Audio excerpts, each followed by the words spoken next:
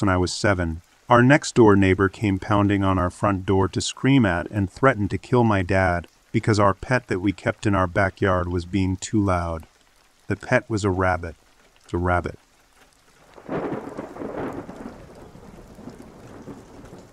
My upstairs neighbor is soft spoken, heavy footed, and rarely leaves her apartment except to take out the trash. The stairs are a challenge for her. My boyfriend and I question her decision to live on the second floor. That being said, besides the creaking floorboards in the middle of the night, we have had zero negative encounters with her in the two years we've lived here. If you don't count the awkward staring we get from her as negative, I guess. She often leaves her door open, so I gather she's a religious person from the gospel to listens to. I've not had the pleasure of seeing the inside of her apartment, but I'm willing to bet the Bible has a special place on her coffee table. Today, as I was coming back from taking out the trash, I noticed a handwritten note taped to my door. At first glance, I assumed a child had written it, but the context threw me a bit. It reads, poor grammar and all, I was called to do a assignment to gather the townspeople for a public reading. Men, women, child, elder by the Most High. I didn't see any notes on any of the other doors as I was coming back from taking out the trash, so I was confused, to say the least, as to why the hell this was on my door. I walked upstairs to ask my neighbor if she had gotten the same note. I stopped halfway up the stairs and knocked on the wall because her door was wide open as usual. As she approached, I saw she was holding a clipboard and pen. The cogs started turning, so I asked if she had written the note. With a blankness in her eyes, she shook her head yes. In an attempt to be as polite as possible, I asked her where the public reading would be held. She stared down silently at the note in my hand for a gut wrenching 15 seconds. I felt my heart drop to my stomach, but kept a smile. Finally, she replied in a whisper, I don't know. At this point, I am thoroughly shook. In the sweetest tone possible, I said okay and started to walk back downstairs. With my back turned, I heard her add, When it is time, you will know, I'm sure. My heart was racing as I went back into my apartment and locked all the doors. Why I locked the doors, I have no idea. Her words made me feel unsafe. I called the main office of the complex to explain what just happened and was informed that multiple residents had made the same confused call. The landlady asked our neighbor the same question I did and received a similar ambiguous answer. My boyfriend thinks she is losing her wits due to her sedentary, solitary lifestyle, and that might be true. All I know for sure is that we are currently living beneath a woman who barely speaks and believes she has been chosen by her God to do a public reading that he, she, they, it has not yet determined a date for. I'm feeling away, Probably more than I have a right to feel about this for someone who doesn't have all the facts. Has anyone here had any similar encounters? What was the outcome? If the date and place is set, do you think I should go? Update. This morning I heard a crash outside my door. From past experience, I could pretty safely assume that she was throwing her trash bag down the stairs as she does to save effort. But considering our talk yesterday, I decided to look through the peephole just to be sure she didn't fall down or anything. I was right, no alarm to be had. But I let curiosity get the best of me and couldn't take my eyes away from the door. After she cleaned up any mess she made, she sat down on the bottom step to catch her breath. I realized at this point that if I back away now, she will hear the creaky floor and know I was watching. I was stuck. I could stand there for some indefinable amount of time until she gets up and leaves, or I could open the door to have another conversation. The second I opened the door, she apologized for the noise. I told her no worries and that I was only concerned she may have slipped and fell. As I was closing the door, she apologized again, this time for our conversation yesterday. I said she had nothing to be sorry for. Again she apologized and tapped her temple as if to say, This brain's not what it used to be. Let me reiterate that she is not an elderly person. With all that said, as soon as I know she's not within earshot, I'm going to be making a wellness check call. Thank you all for your input, concern, and advice. Much appreciation. I dealt with a stalker a little over four years ago. It was a terrible experience, and last I heard that guy was living in another state but for the past few weeks I have discovered a man lurking around my house in the middle of the night, and I just saw him again tonight. I don't know if it my old stalker or someone new. For a few weeks I have heard small noises while smoking outside at night, like rustling bushes or car creaking or a small scrape on the pavement. It scared me, but I tried convincing myself it was just a cat and that I'm being paranoid. I rarely go outside by myself anymore, and if I do, I bring a big knife with me. I have a baby daughter now and am not about to let anyone get in my house. A few weeks ago, a cigarette disappeared from my ashtray outside, and it wasn't windy or anything. The next night, I saw a silhouette walking up the street, and when it got to the bushes at the end of my driveway, it didn't emerge from the other side. Through the bushes, I could see what looked like a man's silhouette crouching, and I ran inside scared as hell. I told my fiance immediately. He went outside to look and didn't find anyone. He said it was most likely a nosy neighbor and for me to not worry. Needless to say, I put more locks on my baby's window and door than a maximum security prison. Tonight, I really needed a cigarette and my fiance was asleep, so I got my trusty knife and braved it. I heard the car clicking and thought maybe the cat jumped on it. The cat ended up being inside. I kept my knife ready and stared at the car for what felt like a long time because I was too afraid to move. That's when I saw the outline of a head through the rear window pop up from behind the car and quickly duck back down. I about had a heart attack. I sprinted inside, and I heard a foot scrape on the driveway, as if the man were either running away or towards me. I didn't take the time to look back, just ran inside and locked the door and turned the lights off. It's 3 a.m. now and I'm too afraid to sleep. I've contemplated calling the police, no matter how much I hate them, but I'm sure they won't do anything to help as I have no evidence. In a way, I'm hoping it is just some random creep or nosy person, because if it is my old stalker, that could end up being very bad. I don't know what to do here. I'm not sure who it is. I'm too afraid to do anything but run away. We're too poor to move, and I'm terrified of something happening to my daughter. Any advice would surely help.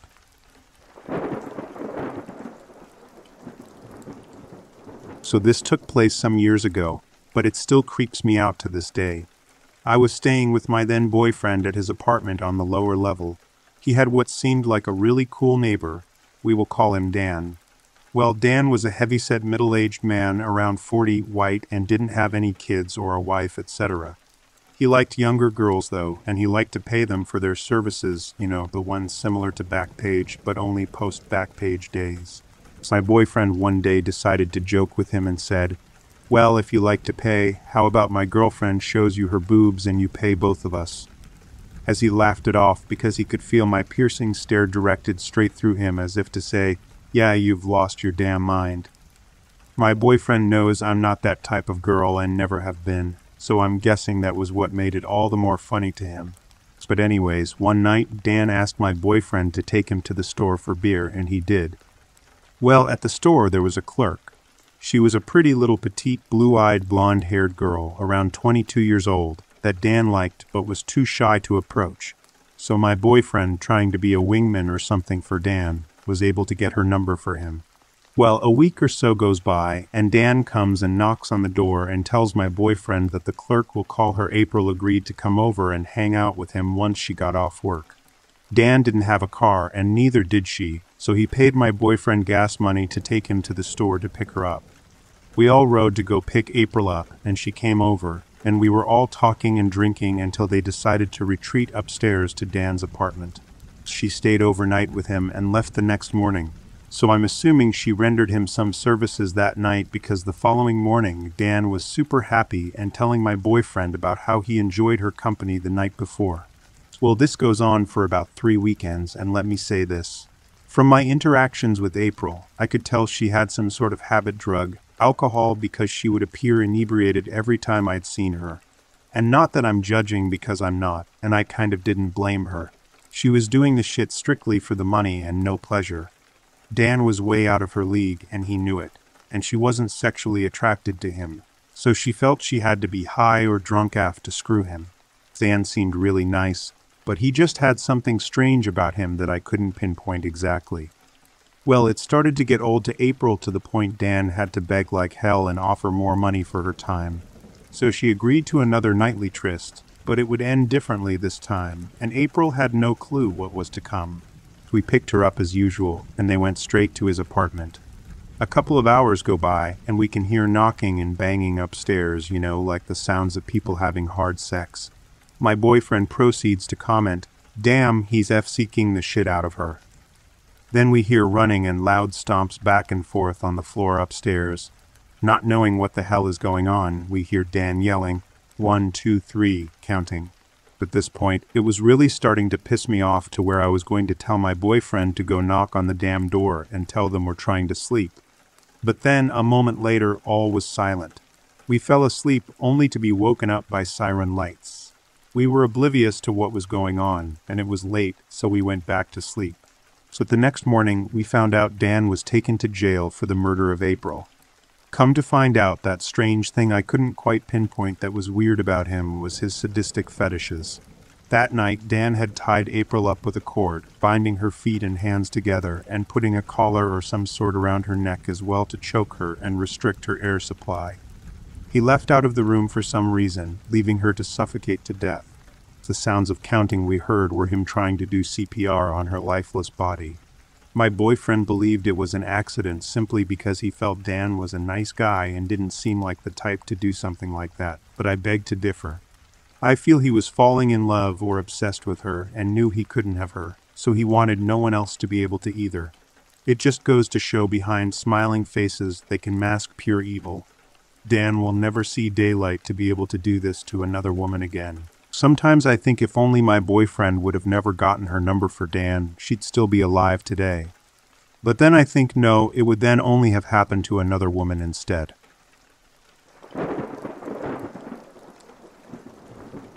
So this happened a few months ago and still genuinely freaks me out. My work involves proving an in-home service, so a lot of my day is driving to my clients' homes. I have one client that lives about 30 minutes from me in a very rural area. Anyway, I left my house at around 11 a.m. to get to this client. At a stoplight about five minutes from my house, which is in the middle of a heavily trafficked city, the car in front of me turned their left turn signal on, so naturally, when the light turned green, I drove around them. After I passed them, I noticed that the turn signal was turned off, and, and instead they went straight and were now behind me. Thought nothing of this at the time because who doesn't get confused about directions sometimes? So I keep driving down these backcountry rides that are not heavily trafficked, and the car continues to follow. After about 20 minutes, I started to get more aware while this car could very simply be going in the same direction as me. I just found it a little off their route was matching mine exactly. When I finally got to my client's house and made the turn into the driveway, I fully expected the car to keep driving. But nope, they turn into the driveway behind me as well. The driveway was narrow, thus they were essentially now blocking me in. I turned my car off and waited a few minutes, and the car behind me stayed on and didn't move. The windows were tinted so I couldn't see inside. I sat in the car waiting, and the person in the car behind me didn't get out. They just continued to sit there, car running. I called my client and asked if she could come stand on the porch so I could get out of my car, and she happily obliged. The minute my client stepped out on the porch, the car very quickly backed out and drove away. The client did not recognize the car. I have no idea why it happened. I didn't do anything to cause any sort of road rage, so why this car suddenly started following me is very bizarre. And if it was something sinister, why do it midday? Anyway, it's just been on my mind for a while and thought I'd share. I really have no explanation for what happened, which is probably the most frustrating part. I was in my early 20s and living at home while attending graduate school. I was dropped off home at night after a date with the man who later became my husband, only good part of the story. My parents were in the living room with my older brother Eric, and I went upstairs to hang out with my two younger sisters, Sarah and Laura, in the room they shared. The three of us, I'm sure, were talking about my date and other sister gossip, when suddenly there was a thump like noise at the window. Sarah and I heard the noise but didn't really pay attention to it, but Laura was closer to the window and walked up to it and opened the blinds. Suddenly she screamed, and when Sarah looked at her and the window, we saw why. Staring back at us through the window was a man's face on the second floor of the house no less. Seeing this man, Sarah and I both screamed as well, and the three of us ran out of the room and sprinted downstairs, screaming there was a man in our window. My dad immediately ran outside alone since my brother Eric had some leg injury and was in a brace or cast and was unable to join him. After a few minutes, my dad came back in and told us he didn't see the man or anyone at all, but there was a ladder laying on its side right under my sister's bedroom window. My dad called the police, who came pretty quickly and searched the area themselves. They didn't find much, though they did notice footprints leading into woods behind our backyard. Unfortunately, they really couldn't do anything else to find him, though they did patrol the area for a while. Since it all happened so fast and the three of us ran out of the room right away, we didn't get any sort of good look at the man, not to mention it was dark out. Thankfully, though, we never saw him again. However, about 15 years later, I was now married and had three kids and lived in a house not even 10 minutes away from that house I grew up in. I worked as nurse in a hospital, and one day there was a horrible snowstorm. The roads were awful and cars were snowed in. Me and a coworker didn't feel safe driving, so we got a ride with another coworker, whose husband was picking her up and had a nice van that was better to drive in snow. Not far from my first coworker's house, we saw an older man, looking like he was in his late 60s, walking alone. Our driver pulled up and asked if he was okay, and the man said his car was stuck or something in the snow, so he just decided to walk home since it was just about a mile away, if that. We nicely offered him a ride since it was so close, which he accepted.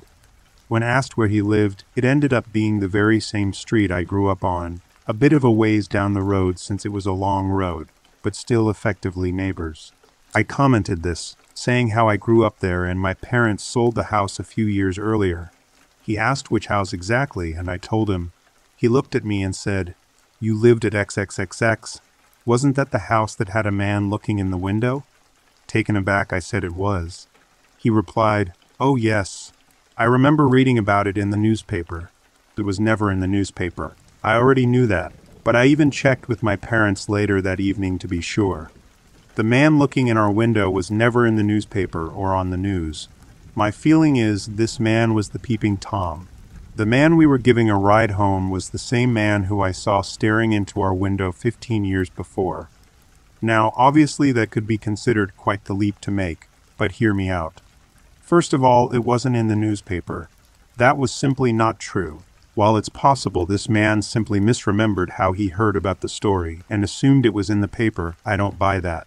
While it was extremely creepy and memorable to me and my family, was it really that memorable for a neighbor quite a few houses down to have it be the first thing he recalled about the house 15 years later? I don't think so. There wasn't any yelling or screaming outside of the house. There was no noise like a gunshot or fighting. Nobody was hurt. Nobody was arrested or even accused. The only thing that would potentially be memorable for a neighbor was the police being called, and even then, all they did was walk around. They didn't chase after the man or bang down a door. And again, this man in the car didn't even live next door. From his house, maybe he'd see flashing lights, but that's really it. So yeah, I'm 100% convinced this man was the same man in our window all those years ago.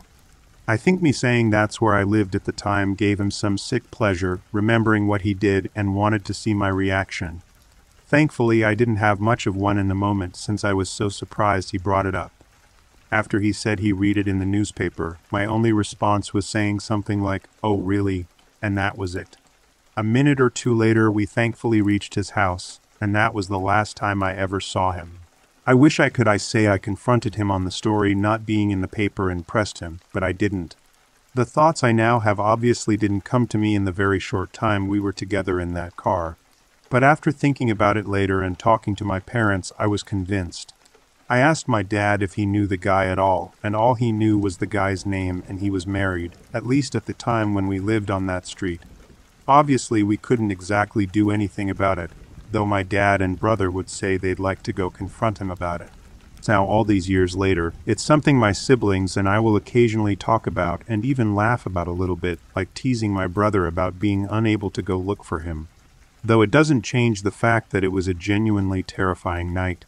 My sister Laura, who opened the blinds and was essentially face to face with him, still to this day pins her curtains shut at night and keeps her blinds closed at night and refuses to look out of the window when it's late at night.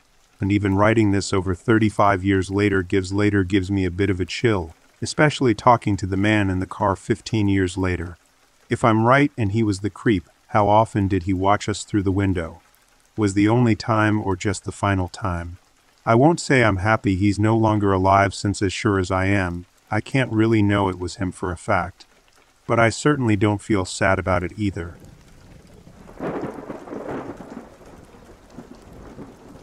I'm still pretty jarred from this experience, but I figured it would be easier to share about it than keep dwelling on this.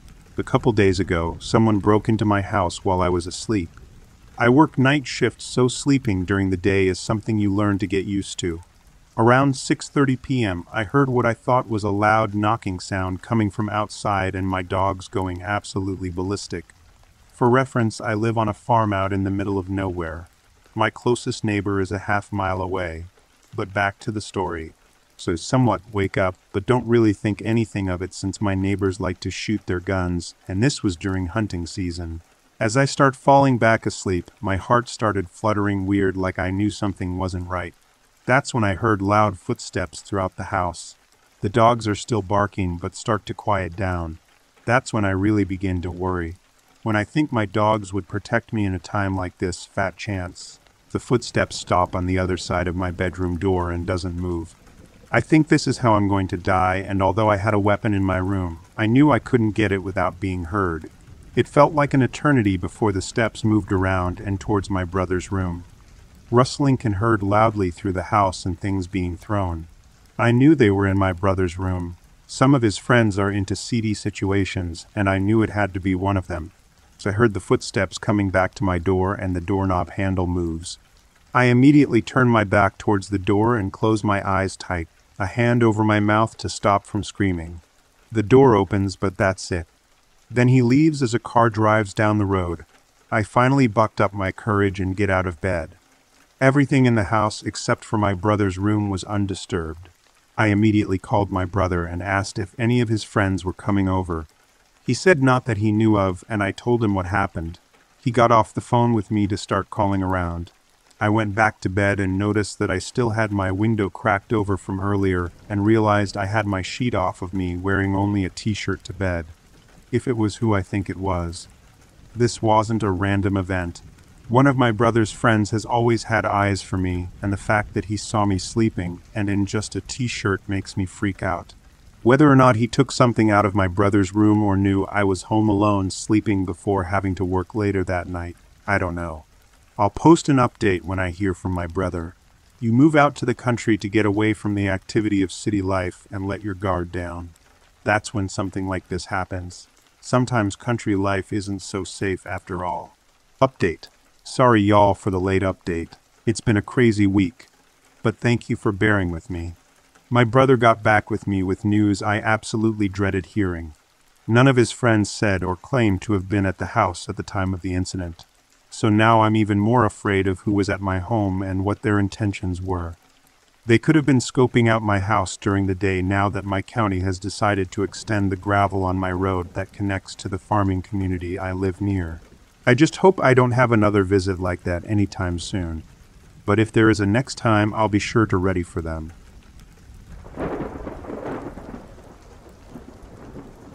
When I was in fifth grade, my family and I went to New Mexico a lot because we were born there. I really liked spending time with my two cousins, Tony and Paul. When we were at their little house in Posos, we would play soccer in their backyard or watch TV. When we weren't doing that, we'd be playing with our Legos, trying to see who could build the weirdest structure. One day, we were playing a game we made up called Pine Cone Wars. Then the neighbor and some of his family came out of their house. Their house was right next to Tony and Paul's place. I think the neighbor's sister was talking with my mom. All of a sudden, the boy from the neighbor's house walked up to us and said hi to Tony and Paul. Paul introduced my brother and me to him. Let's call the boy Owen. We shook hands, and right away my hand started feeling tingly. I found it strange. I think Owen was two years older than me. We played Pine Cone Wars until my grandma called my brother and me for dinner. Oh, by the way, the rest of my family was there too. After eating, I went to the couch and played Legend of Zelda on my Game Boy Color. Because my grandma's neighborhood was pretty safe, she didn't have an alarm system. That might explain what happened next. My brother and I had to go to bed, so I slept in the guest room. I left my Game Boy on the couch. Suddenly, I heard the door opening quietly. It felt like my heart stopped for a moment. I lay there frozen for a minute until I finally pulled the blanket over my head. I heard heavy breathing at the side of my bed, and I put my hands around my nose and mouth to cover my breathing. Then I heard footsteps leave my room, and I couldn't sleep at all that night. The next day, I found a note on the floor. The note said, Hi Lily, good luck sleeping tonight. Next to the note was a freshly cut rabbit's paw. I screamed so loud that the neighbors probably heard. My mom rushed into the room and saw the note in Rabbit's paw.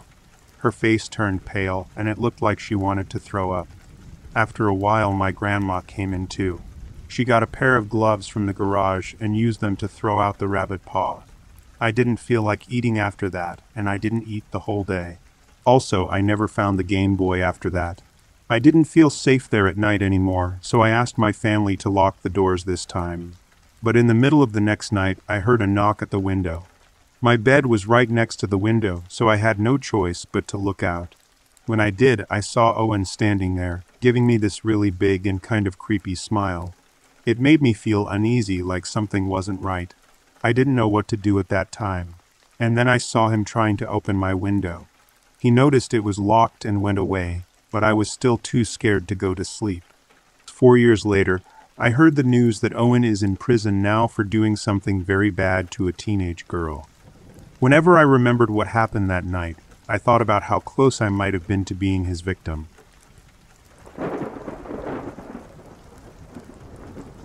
For context, I live in a subsidized housing complex for people with disabilities.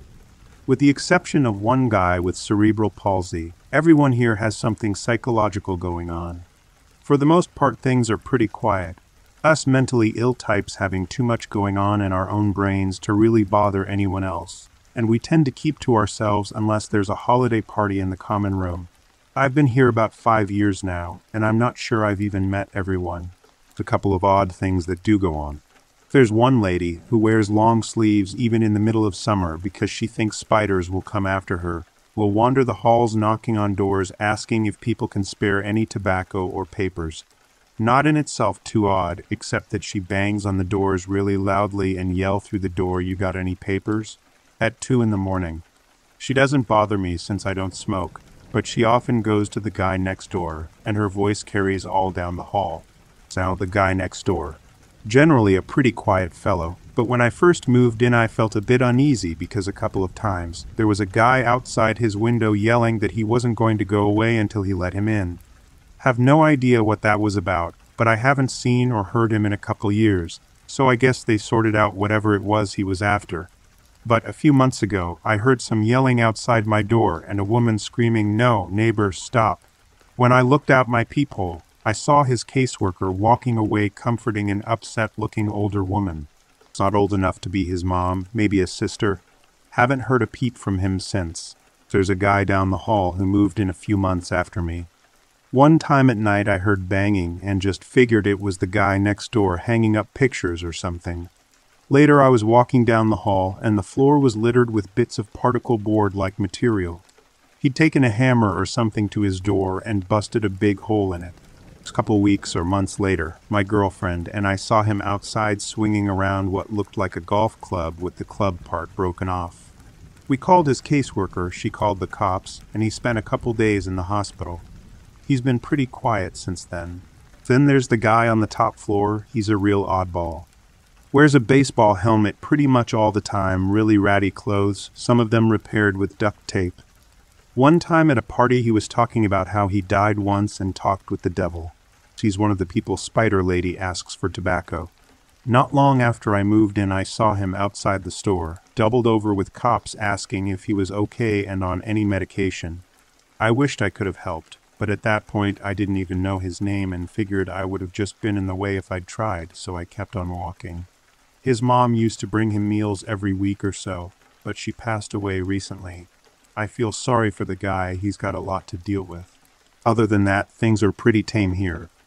They're a very quiet woman with Tourette's down the hall. She smiles at me when I greet her in the hallway, but rarely talks. A guy on the top floor plays accordion, and you can hear him practicing when you walk down that hall. The guy directly across the hall from me has schizophrenia. He comes over every couple weeks to share a meal or a drink with me. Very mild mannered man. Seems a lot older than he is. I would have guessed 50s, turns out he isn't even 40 yet. He's actually pretty intelligent, but you have to talk to him a while before you realize that. He seems heavily sedated and talks about very mundane stuff like new clothing or his daily 30 min walks often repeating the same topics over multiple visits, but every now and then you can get a real intellectual conversation about science out of him. And there's a guy around the corner who's really friendly when we meet outside the building that likes to talk to me about gardening since I have a couple planters outside the front door and his dad used to have a greenhouse. I haven't heard it, but apparently he yells at himself in his place. I can't really judge him for that because I do the same thing myself sometimes. So yeah, not really creepy but it's definitely eventful.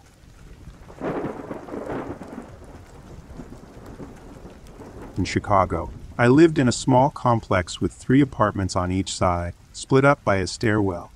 I lived on the third floor and have a few stories about messed up neighbors. I was in my late teens in beauty school, and my two best friends who I lived with were in college, so naturally we had parties, came home late, etc.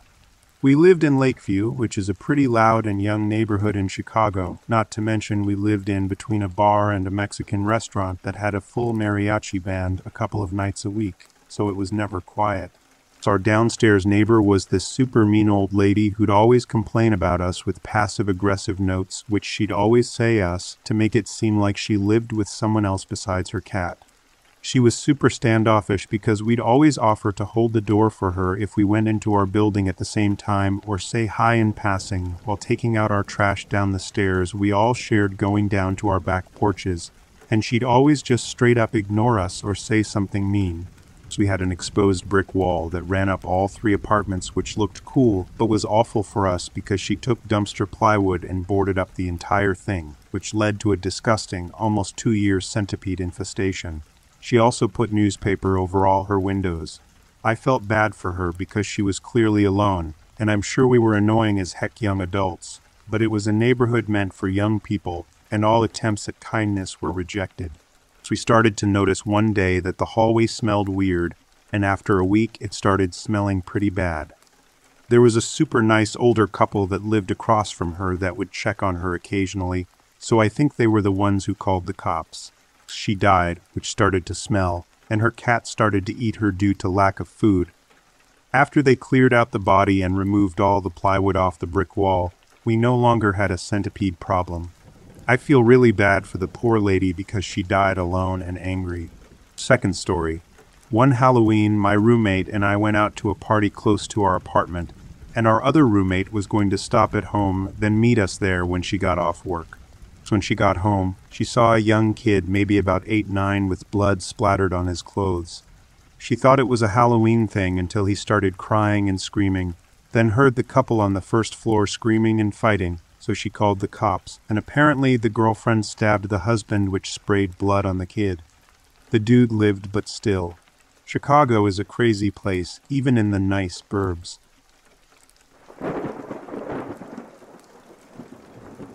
So my boyfriend and I had just signed for our current apartment. We walked around the block and we came across this house that is right behind our building. The front yard is covered in junk, like everything political signs and religious signs and random gnomes. They have a shrunken head type thing on a stick. It was early October, but I don't think it was a Halloween decoration. You literally cannot see the ground, it's all just stuff everywhere and completely overgrown. There is a giant cross and Bible verse painted on the side of the house. There is an impossibly beat up, rusty old car parked in front. He has a Trump flag hanging on his porch, which is super tattered. When we moved in, we discovered we can see their backyard from my window. It's worse. There are open umbrellas covered in holes lying around, ladders leading to nowhere, hunks of appliances and chairs just strewn about and at least two big German Shepherd dogs that are kept outside and never brought in. They bark constantly. I don't know how people haven't called the cops and filed noise complaints. They literally bark all day every day, I am not exaggerating.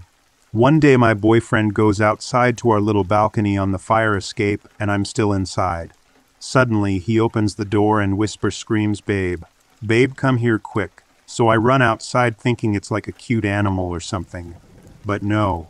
It's the neighbor and it's the first time we've seen him after a month of living there.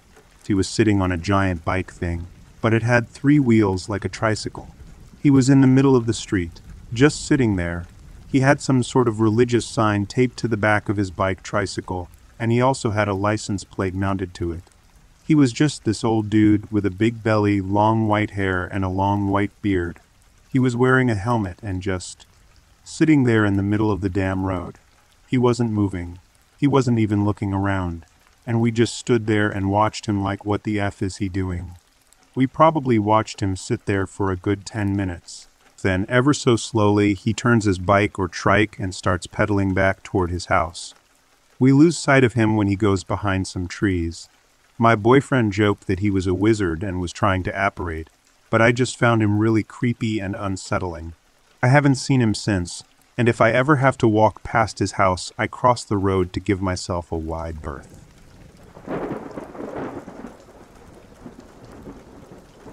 Growing up, it was my best friend's parents. He lived down the hill from us, the parents, sometimes the grandparents, and three boys. And at various times, cousins and other family members, eventually the boys' wives, girlfriends of the boys, also would live there on and off. I was down there often for games D&D, HeroQuest, and console, movies, and our local karate club. When we're old enough, I would hang out at the diner where my friend worked and then do whatever. Then head home, typically his place and chill there, with his girlfriend or with mine if we were dating at the time. That's all cool. The issue is that HSI family was strung tightly and were heavily armed. They loved me if I had called down that someone was breaking into my house. I am confident that every single person in their house would be armed and running to save my ass in 30 seconds flat. We would be playing PS or whatever, and my friend would drop the controller and say, You hear that? Yeah, it was a neighbor getting home. By the time I would get that out, he would have a shotgun and be by the door. It was always a neighbor. They had guns everywhere.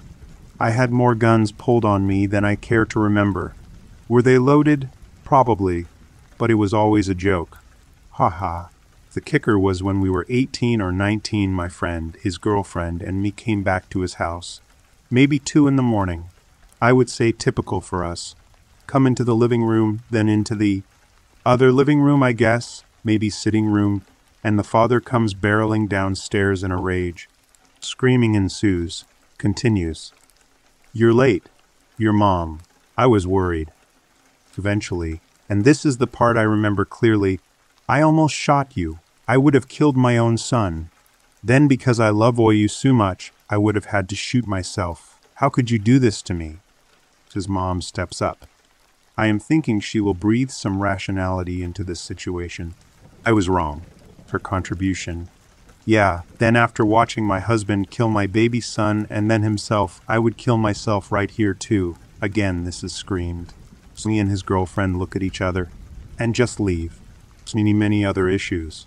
One cousin was turning tricks, I think, offered me sexual favors for cigarettes. She was like 14 or 15. People were constantly married and divorced. I often didn't know who was who. The father was arrested for sitting on a gun while stalking a guy who was maybe stalking his daughter in law, I think. It was confusing at the time, too. For all that, loved hanging out there. Probably not the smartest idea.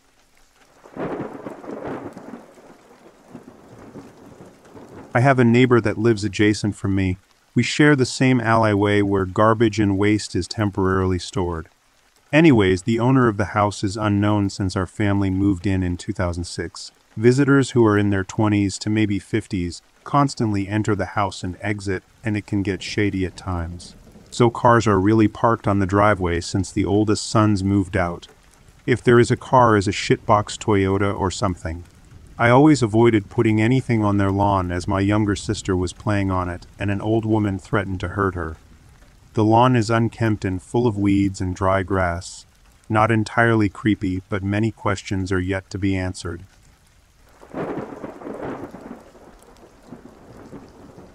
I have a really douche or sketchy neighbor who would smoke a cigarette outside his house almost every day.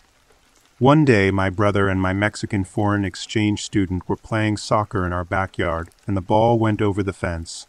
Apparently, he wasn't happy about this whatsoever, and so he grabbed his golf club and threatened to hit them with it. From what I can recall, they went inside crying, and let me tell you, my mom was pissed. I've never seen anyone get that angry in my life, even to this day.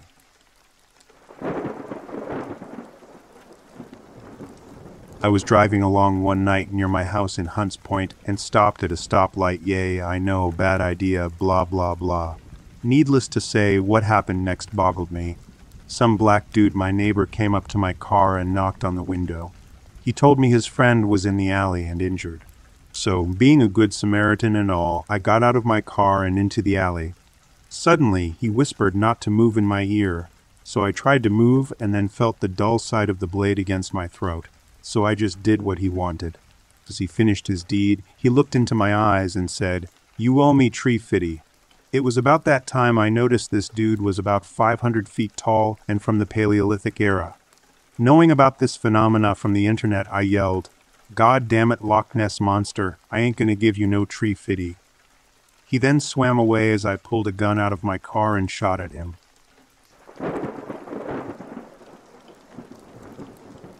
When my sister and I were about five and six, we lived in a small town community about 600 people, and we would frequently play outside without parental supervision. Our neighbor would, unbeknownst to our mother, take us to the local ice cream shop for ice cream. One day we moved without explanation. Years later it was told to us that that neighbor was a registered S offender and PDF and mom moved for our safety. She freaked out when she learned about our trips to the ice cream shop. To my knowledge, neither me or my sister were ever assaulted, but it is still very scary to think about.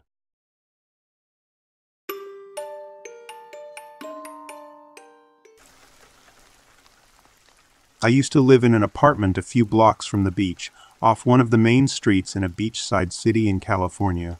A new whiskey bar opened downtown, and my neighbor's daughters invited me to go check it out. We had a great time, maybe a little too great a time, and around two in the morning we decided to head home. We weren't wasted, but all three of us were definitely drunk. I requested to walk home since we were only around one five miles away, and I was feeling too dizzy to take an Uber. It was also fairly easy to get home as we only had to walk a block up from where we were to be back on the main thoroughfare I lived on. The entire walk home was well lit along a busy thoroughfare with cars passing regularly even at 2 a.m. My friends agreed to walk home as they were both also feeling tipsy, and we all felt the walk would help us sober up a bit.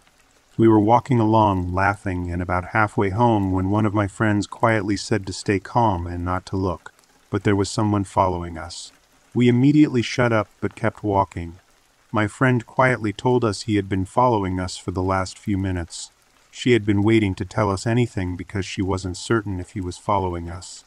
A few minutes later, and we were all 100% sure this guy had been following us, and we would be back to my apartment soon.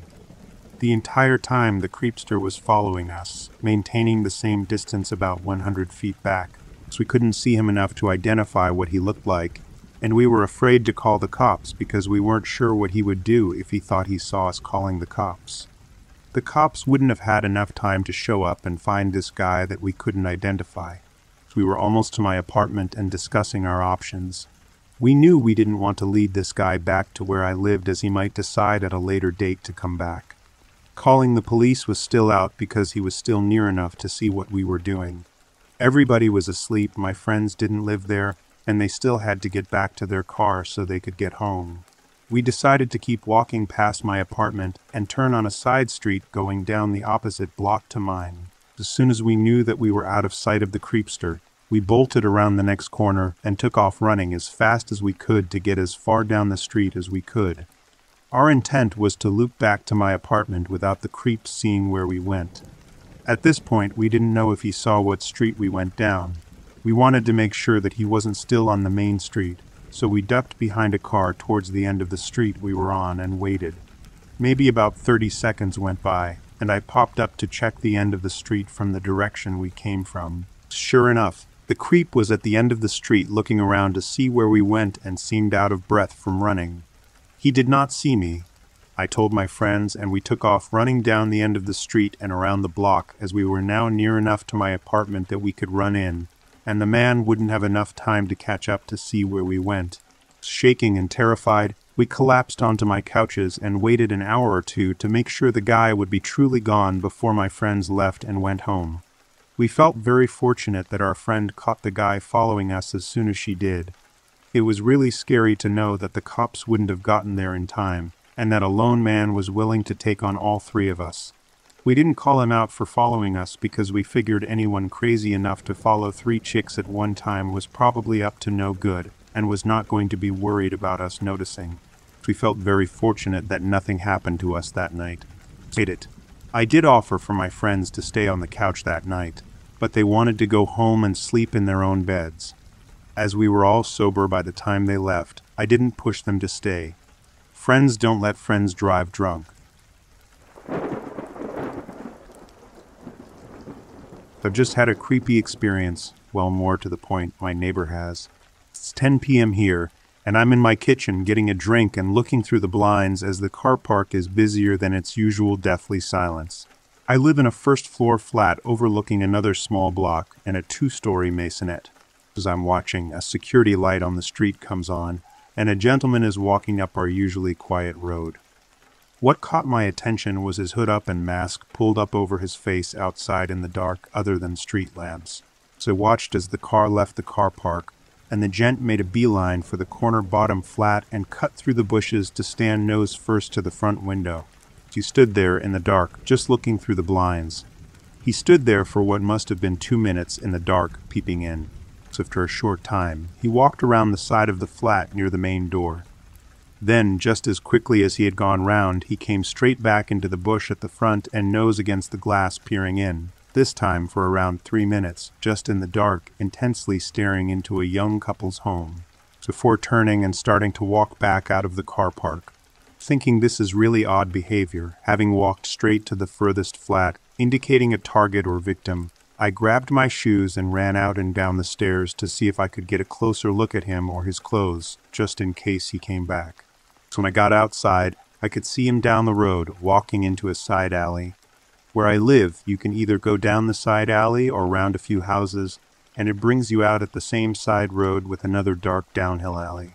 I ran the opposite way to him and turned the corner as he was going down the second alley, proceeding to follow him down the steep sideway.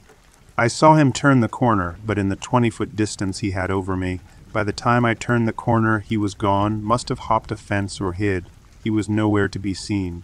I ran back to my car park, jumped in the car, and drove around the block a couple of times with no luck of seeing him. Overall, a very odd experience, and super stalker like behavior. I did let my neighbors know that they had a peeping visitor, by the way, and left my car facing the open car park so my dashcam can run just in case. Also, it made sense when I knocked on the door why he came back round from the side so quickly, because the kitchen window blind was up.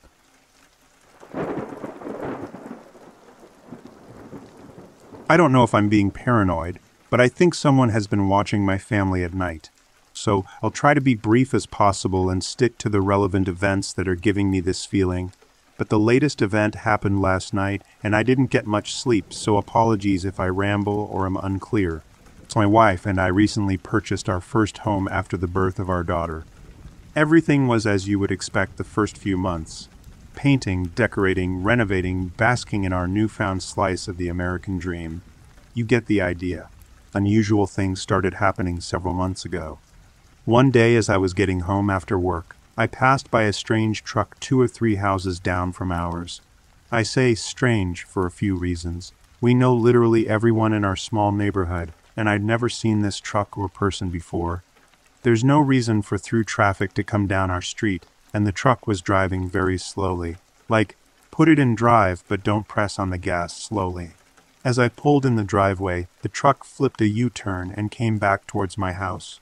Sitting out of my car, the truck crawled by, and the driver stared daggers at me as he passed, then sped off. I don't like to judge based on appearances, and I like to think that I don't scare easily, but something about this guy's eyes gave me a bad feeling. Obviously, this was weird. I mentioned what happened to my wife, telling her we should be more mindful about security. When I told her the type of truck, my wife said, That same truck drove by and the guy stared at me when I got home this afternoon. I thought he was just being creepy and checking me out. I tried to tease her a bit to lighten the mood, calling her cocky for assuming any guy driving by was checking her out. I didn't want to freak her out, but I was definitely freaked out. She saw the truck a few more times over the next couple of weeks, either driving by slowly or parked down the block and facing our yard. But one day the truck stopped driving by and we haven't seen it since. I sort of dismissed the whole thing as me being paranoid. Then other things started happening. In the past month or so, my wife and I have been hearing tapping on the windows at the front of our house at night. It's happened two or three times to each of us separately, always around 10 or 11 p.m., and always a soft but distinct tap, tap, tap, tap. It sounds like knocking with a single knuckle on the metal part of a screen door, if that makes sense. The first time that my wife and I heard the tapping together was last weekend. We were in the front room playing with our daughter around 9:30, just about to settle her down for bed. Our front room has a large, almost floor to ceiling window running the length of the wall next to the front door, which faces the street. We were all sitting on the floor with our backs to the window, reading our daughter a book when we heard it. Tap, tap, tap, tap. So our house is older. Creaks and cracks are not uncommon, but this sound was so distinctly intentional that my wife and I immediately looked at each other and bolted up out of the room. I had my wife and daughter lock themselves in a back room while I turned on all the lights and did a sweep around the outside of the house. Of course, I didn't see anything and was ready to dismiss the whole thing as more paranoia over something that probably had an innocent explanation. Until last night. Around 9:45 we heard our daughter making noise in the baby monitor. I waited a few minutes to see if she would settle down, but when it became clear she wouldn't I got up to put her back to sleep. The layout of the room is important to visualize this next part. This room is on the side of our house, but the exterior wall juts out a bit in an L shape, and the corner of this L is made up of windows. If you're standing in the door to the room, you're directly across from these windows in one corner, and there's a rocking chair in the other corner pointed towards the front of the house. One window faces the street, and the other faces our neighbor's house. A garden bed planted with small shrubs wraps around the outside of the house, directly underneath. I was sitting in the chair getting my daughter settled down.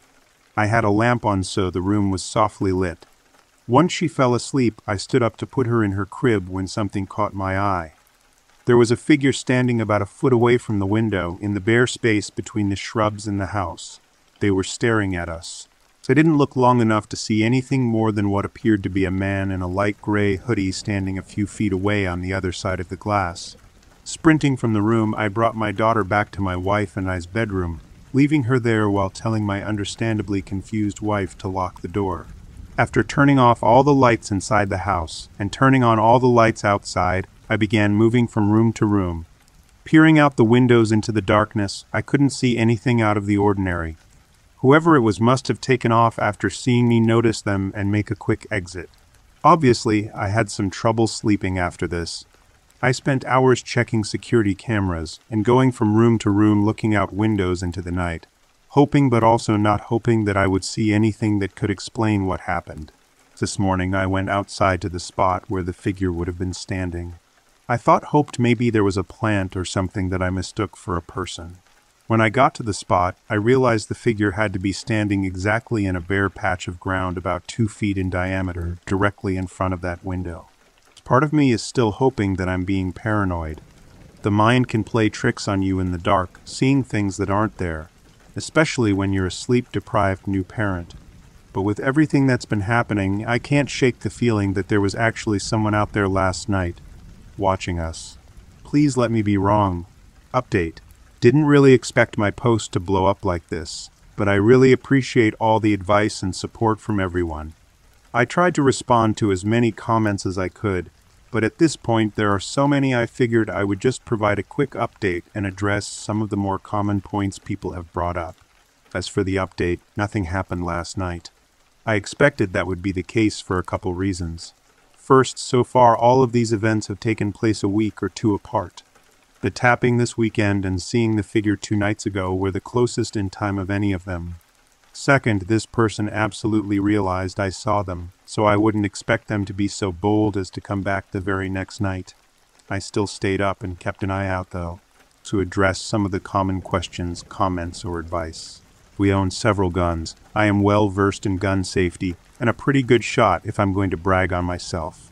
Since we have a young child, I have kept all weapons locked away. But after this past week, I've made sure to find places to store guns that are out of her reach, but within my reach for quick access. There are blinds, curtains, and solar screens on all our windows, the window in the story is dark, and the curtains were drawn over it that night. They're those semi see through white ones, so I didn't notice the blinds weren't drawn. All windows are checked and covered as soon as I get home from now on. All our exterior doors are dead bolted and the frames are reinforced. These were security measures put in by the previous owners that I thought were unnecessary, but am now grateful for. Anybody tries to kick their way in, the door will hold long enough for me to get ready for them. I have purchased and installed additional exterior cameras with motion-activated lights. I am looking into buying additional motion-activated floodlights for the more remote corners of our property. Lots of people have mentioned getting a dog. While I love dogs, we have a pretty full house animal-wise right now, and I wouldn't feel good about taking in another animal that I wasn't sure we could give sufficient attention to. Our neighbors have two very alert dogs that are out all night, and they have been barking more often after dark the past few weeks, which is another reason we've been on edge. As for who this person might be, I don't think it's related to the previous owners. They were a married couple with no children who lived there for over 30 years. The husband died and the wife needed to downsize, which is why she sold the house. Maybe it's someone who lost out on their bid for the place, but there was so much time between us buying the house and all this starting that it seems unlikely.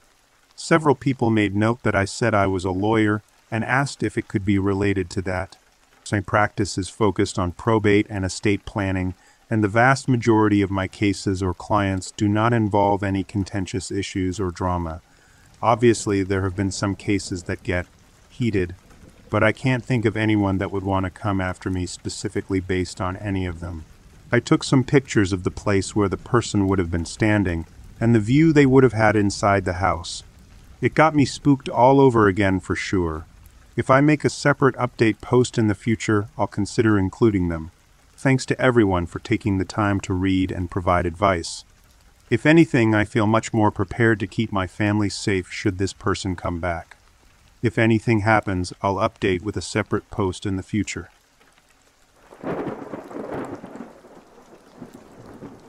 This story occurred a few years back, I would have been around eight or nine at the time. My old bedroom sat facing out towards the street and also happened to be right next to our front door. It was very small as it had been built in place of our old front porch. The roof was slanted slighted downward toward the window, which took up most of the wall, and the bed could only fit in one way. It was painted purple, not a nice purple either, like a kid's bedroom, of course. So my bed sat facing towards the door to my bedroom, parallel to the window. A closet took up part of the corner between my bedroom door and the window, making for an unjewel space. Every night I checked to make sure the curtains were shut all the way as the idea of people watching from the street made me very uncomfortable, even at a young age where things like that shouldn't even cross my mind. Every night I slept soundly, no nightmares, no sudden noises waking me in the middle of the night, nothing. That was until the middle of the year during a school break. I remember waking to the sound of someone breathing, I couldn't move, couldn't catch my own breath, I was just stuck. I remember so clearly seeing a man stood in the corner of my room, stuck partly behind the curtain as if it would hide him. Of course I could see him. He was just this dark entity who stood and watched. After what felt like hours, I was able to get back to sleep. In the morning, I told my mum about what had happened, and she explained it was just a strange nightmare and that I was fine. But the way she said it wasn't very believable. These cases of sleep paralysis went on for about a year, taking me up to the middle of the next year when I was likely eight or nine. I remember waking in the middle of the night, just like I had most nights for the last year to the man in the corner. Only this time, I could move. I stayed absolutely still, despite now knowing he was actually there. I could hear his faint breathing like he was trying to hide from me as much as I was trying to hide from him. I couldn't help but think, has this man been here every night this year? I remember the thoughts I had. How I'd run out of the room and scream for my mum, how she'd call the police, how this man would be arrested and sent away. But I couldn't do that. He was basically in front of the door. I spent the night staring at him, trying to fall asleep. I'd say it was around 5 a.m. I was able to drift off, just sort of as the birds started to wake.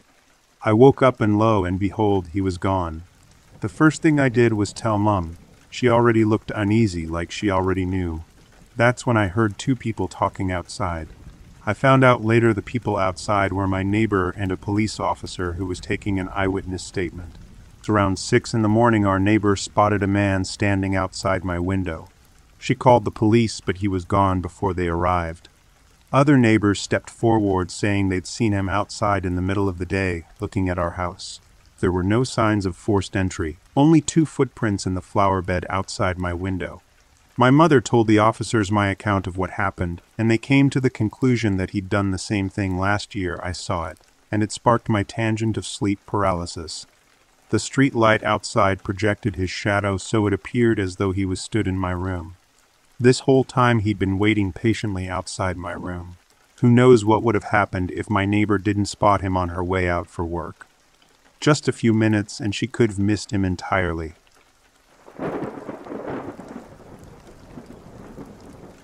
A few months ago, a man was arrested for looking through my window while I was nude or in a state of undress. I lived in a busy part of the city, but my complex was small in a corner and not well lit at all.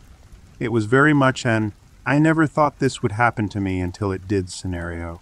This man was only caught because, by a stroke of luck, my neighbor whom I had never really met, only said hello to a couple of times had seen him and called the cops from inside her apartment.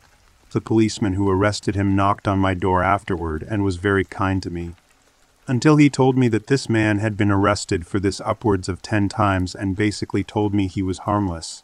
And here's the kicker peeping in my state and maybe elsewhere. I'm not sure if this is a state or federal law is a Class C misdemeanor, meaning that every time he did this, they booked him and charged him with a $500 fine, then let him go. That's it. After that, I became even more hypervigilant. There were a few times that I heard somebody knocking on my door, but when I looked through the peephole, I couldn't see anything. I'm a true crime junkie, and I definitely became paranoid. Looking back, I'm very certain that it was the same man knocking to see whether I was home or not. I feel confident in saying this because the detective assigned to my case let me know that the beat cops in my area caught him lurking near my complex after another neighbor called the cops because he was freaking her out and something seemed off. This gets even weirder because even before the original arrest, I remember hearing knocks on the windows at night and came home a few times to see my patio furniture looking like it had been rearranged. It didn't seem sinister, just a little off. I moved out of that place a couple of months later, and I've only just begun to put the pieces together that all of these weird occurrences are probably connected. I feel very confident that this man was lurking nearby for a longer period of time than it seemed, and I have no idea what his intentions were, but they were certainly nothing good. Thankfully, I've graduated university and moved to a city 60 miles or so away, but I still get chills thinking about it.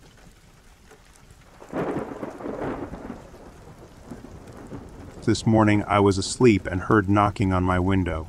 At first I just thought maybe something was hitting my window, but then I heard our storm door open. I was hoping and thinking it was my parents. Then I heard the knocking again about ten minutes later, so I woke up my parents to check it out. My dad opened the door and there was a man who didn't speak much English asking for a girl named Alyssa. He then parked his car in our driveway and started walking to other houses. My dad then told him he needed to leave. My dad also saw that there was another guy in his car, and they had open containers. When asked, they admitted to knocking on my window. I'm pretty sure they were just looking for that girl, but that was very scary for me because I just needed to sleep, and I had no idea who was at our house.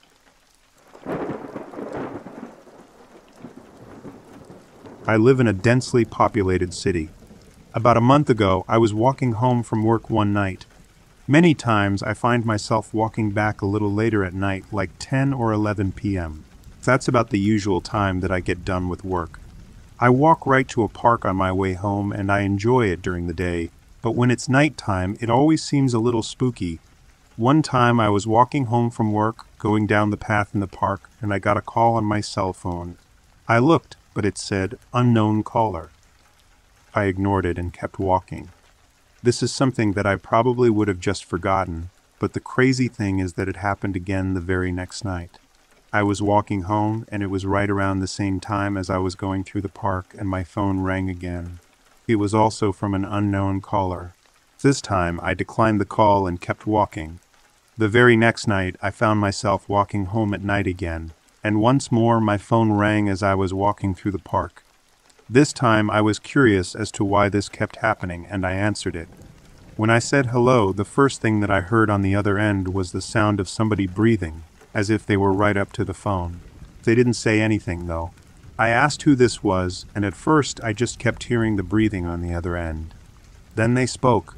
It was a man's voice who said, I can see you, in the creepiest way possible. He continued, I watch you walk through the park every night. I asked again who this was, then he said, Look to your left. I was standing on a path that was going right through the park, and to the left there was a bench. The bench was empty, but behind the bench there were a few really thick bushes. I looked in that direction and at first saw nothing. Then I saw a man starting to step out of the bushes. I didn't stop to get a good look at him. I just started running. I remember when I began to run, hearing some laughter from the man. He didn't chase me. I ran the quickest way possible out of that park and back onto the sidewalk. Then I hung up the phone, which was still on the call with the guy. I walked as fast as I could the rest of the way back to my apartment and looked over my shoulder literally every five seconds. In the days that followed, I took a taxi to and from work. Eventually, I started walking to work again, but I still avoid that park, especially at night.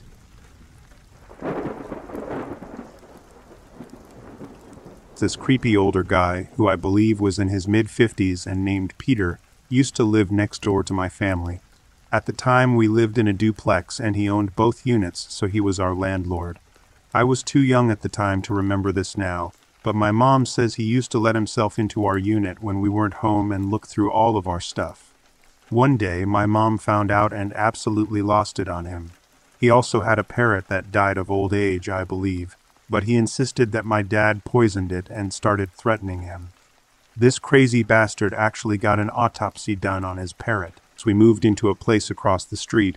And a couple of years ago, when I was about 12, me and a buddy were in the front yard when he just walked up to us and started talking about his parrots and how he drives a school bus. I've always been a bit paranoid, so I was way on edge, but my dumbass friend was totally interested in this creepy guy's story. Luckily, my buddy's mom came out and Peter left.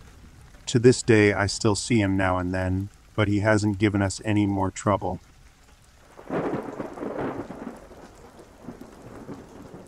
We used to live at a location I christened the corner of crack and pipe in a rundown apartment house.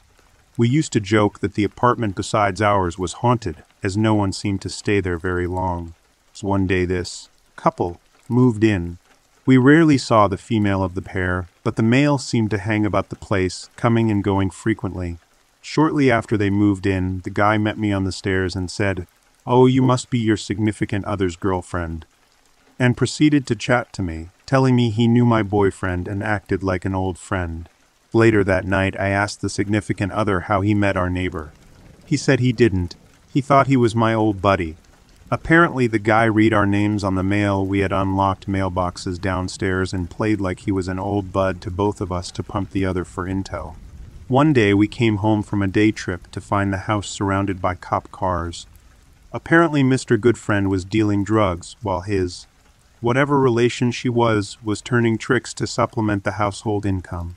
I had to turn away a couple of her late night returning and slightly drunk customers seeking blowjobs for a few days after they were arrested.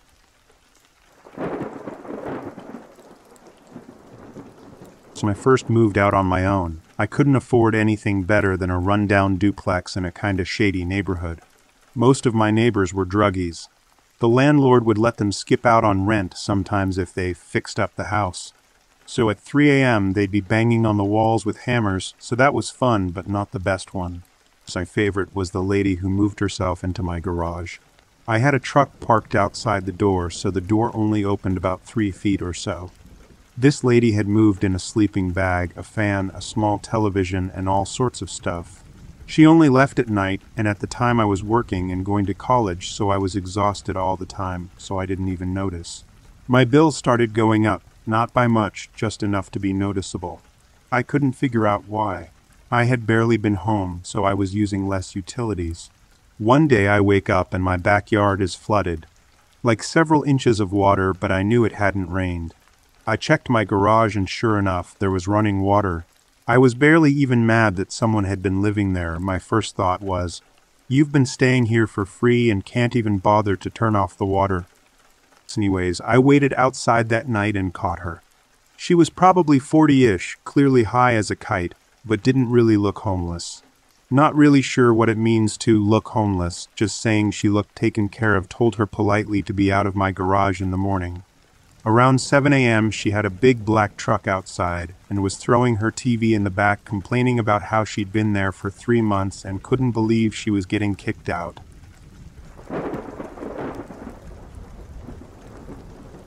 This guy lived across the street alone, in his mid 50s, single in a large home, which was odd to me. What do you need that much space for? And my dad was always friendly with him, so I always assumed he was nice enough. He wasn't always there. He had another home somewhere else, I think. It was always kind of odd, but I never thought anything of it. One day, I came home to see cops searching his property that really freaked me out, and I still never knew why they were there. I even checked local police reports. The dude moved out of his house shortly after that and the photos for the real estate listing were creepy, almost like he hadn't moved anything since 1990. I always wondered if he was secretly hiding people in his house, but I will never know.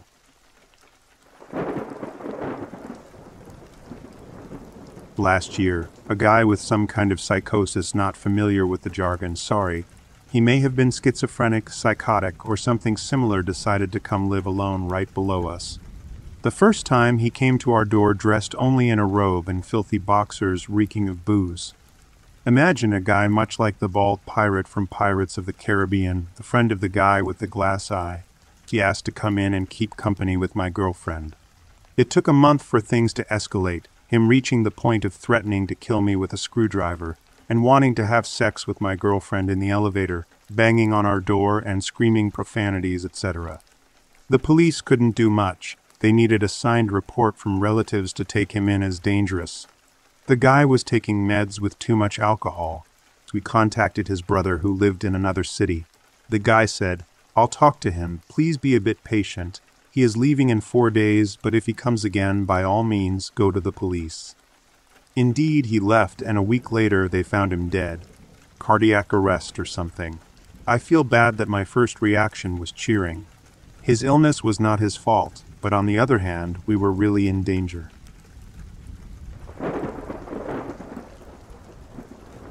While living off campus during college in an apartment building, I noticed that all the mailboxes were incredibly dirty at first. One night I was out late and came home to see the neighbor at the mailbox. I assumed he was just getting his mail. Upon closer inspection, I realized there was semen smeared all over the mailboxes, I had no clue why he did that, so I called our landlord the next day. It stopped for a while, but then he started smearing it on our doors. Eventually, I got tired of it and confronted him.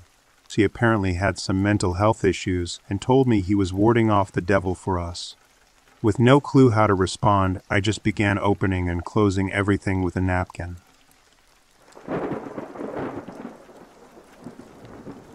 About 10 years ago, an older man moved into the house next to me.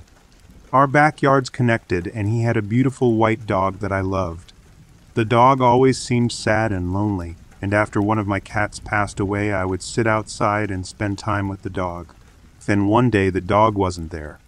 No one had the courage to go over there and ask if he was okay, because the guy had been harassing my mother about where she left the garbage cans, so we were afraid of him. Finally, my uncle went over there and asked what happened to the dog.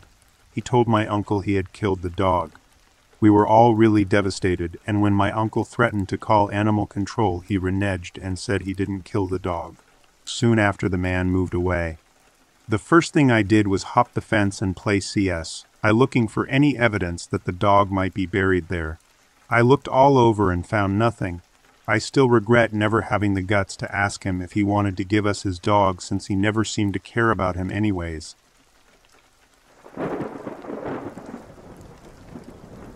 Have a two twofer from the same place. Before we married my wife and I rented a condo for three-ish years. We were on the second flood of the condo, and our neighbors to the west were married with four or five kids. He was a doctor, she was a nurse that worked in his clinic, which he operated in the downtown area of our small town. Doctor and nurse seemed overly nice, but their kids were disasters. They would bounce rubber balls off our garage. We couldn't put potted plants anywhere outside because they would basically use the flowers as target practice for their ball playing. Their youngest child had autism, and he was a super sweet kid, but they always seemed to treat him like a second-class citizen compared to the rest of their children. Abruptly, they finally moved out, and my wife, who is nosy, and several other nosy neighbors from the condo association toured their apartment afterwards, and it was a mess. Smelled awful, junk left everywhere, soiled mattresses left behind. You have to wonder how six, seven people live there, we also found out from the other nosy neighbors that the nurse accused women in the neighborhood of trying to seduce her doctor husband without reason. My wife being nosy, as she has looked up their medical practice online and discovered that the doctor had his license revoked, his clinic shut down, and that was likely the reason they left town. So the other neighbor lived down below us. She was nurse too, worked long hours, had a nice big friendly dog, seemed fine, Nurse 2 and my wife bonded over the weirdness that were the doctor and nurse, and she was always pleasant and friendly. We lived in the condo for about two years and really didn't get to know her much beyond that. Then, one warm fall weekend, she invited us to hang out in the common backyard and have a fire, so we figured why not. Grabbed some beers and hung out with Nurse 2 and got to know each other better. Things started off normal enough, finding out more about jobs and family and whatnot, then talk turned to sports, and Nurse 2 remarks that Brett Favre is her boyfriend. Ha ha. We live in Wisconsin. This happened when Favre was still the man for the Green Bay Packers, and most women of Nurse 2's age in the state would probably make similar remarks. Then she continued that on Sunday game days she would call the coaching staff of the team at halftime and tell them what they needed to fix to do better for the second half of the game. Ha ha. Oh wait, no, she was dead serious. She went on about how the team would suddenly start doing exactly what she told them to do over the phone. She really, truly thought she had some sort of direct line to the Packers head coach. Okay, kinda weird there. But then back to her boyfriend. She starts talking about how Favre was obsessed with her, trying to call her at all times of the day, wanting to be with her. She asks us if we ever see a truck in the condo parking lot late or night or early in the morning, because that's Favre looking out for her. Our master bedroom overlooked the parking lot, and we never ever saw the vehicle she described. She claimed that she finally had to tell Favre that she couldn't be with him because she was married, and that he needed to focus on the team and the game, but that she would always love him. This whole time I'm uncomfortably listening to her and trying not to say anything to upset her. She continues, adding that she has gotten into trouble at work because of Favre, she apparently got into a shouting match with another woman at work after she joked about her non existent relationship, and she basically threatened this woman. How she didn't lose her job, I'll never know. Soon after this, my wife and I wrap up the evening and head inside and try to piece together what the hell we just experienced. Nurse 2 said these things so matter of factly it was really creepy. I still wonder was there ever a truck in the parking lot? Did she really call someone on the phone and who was it? Or was it simply all a delusion? We never did hang out with her again, although we'd see each other from time to time and exchange pleasantries. Brett Favre was never brought up again, thankfully.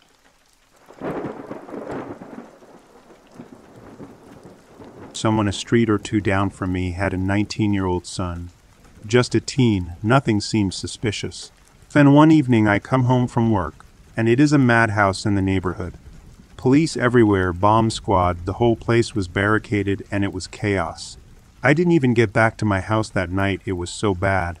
And this was a large neighborhood, a gated community. So it's not like only a few houses were blocked off. It was several streets of homes you couldn't get in at all, unless you lived in a whole other side of the gated community. It turns out, the teenage neighbor had purchased a huge amount of acetone from a pool cleaning company. Apparently, there was another huge amount of chemicals, too. Someone from the company was suspicious of this and tipped him off to law enforcement, which led to a raid of his parents' house. It turns out he had enough chemicals to actually blow up the entire gated community. They found bottle rocket bodies, PVC piping, bridge wire, and all sorts of crap in his bedroom. For days on end, we had cops circling the area and news reporters outside the community, people down the street being interviewed. A few nights later, law enforcement had taken all of the chemicals that were removed from the home and took it to a remote area to blow it up. I was just sitting there watching TV and the explosions started. Things shook, something fell off the counter and broke. My pets went into defensive stance. I could have sworn that the explosions were happening on the next street over. That's how unbelievably loud this shit was. I thought, oh hell no. I remember calling the neighborhood security and saying, um, that sounded awfully close, what should we do? They assured me that the explosions were happening in a very, very remote area, miles away. Yep, that's how huge these explosions were. He was arrested and held for a while. His lawyer tried to make it seem like he only needed those chemicals because he's into boats, and his life is all boats and everything was a big misunderstanding, and he's a good boy. It's cut to about seven, eight years later. The guy is well known in the local community for being a douche canoe. He hangs out at a local bar and brings obviously underage girl with him. He has been arrested once or twice for buying alcohol for underage girls and has been tried for statutory R. He's been fired from a bunch of places and can't hold down a job. There was a report where he had apparently whispered death threats into a 12 year old's ear. You know, good boy type of stuff. Except, not even most douchebags have purchased enough chemicals to blow up a community 15 square miles large. Something tells me that his privileged, white bitch boy status helped prevent him from being labeled as a terrorist.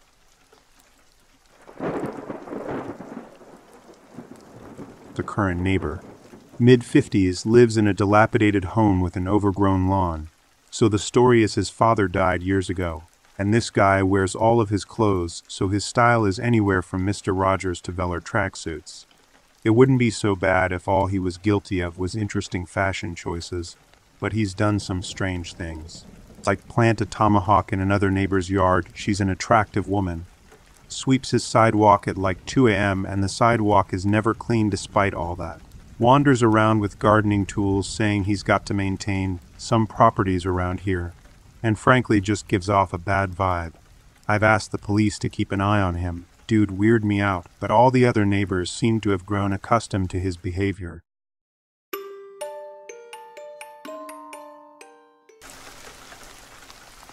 One of my current neighbors, I moved into this flat about a month ago and have come across three of the other four neighbors on my floor, either just passing in the corridor or had a parcel delivered to their flat when I wasn't in. But the guy next door, I hear him grunt and sigh occasionally, which is how I know they're a he never seen. I don't work currently, I have an ongoing illness, so I'm in most of the time, but I've never heard his front door go to suggest that he's exiting or entering nor do I hear anyone go round, even though these are small flats and I can hear my neighbor on my other side coming and going, as well as the postman knocking on everyone else's doors. Assuming his flat is the same floor plan as own, his bedroom shares a wall with my living room. When I'm sitting on my sofa, I can hear creaking kind of like a mattress or creaky bed frame through the wall, on and off at all times of the day. So a man is definitely alive in there, but what does he do in bed all day?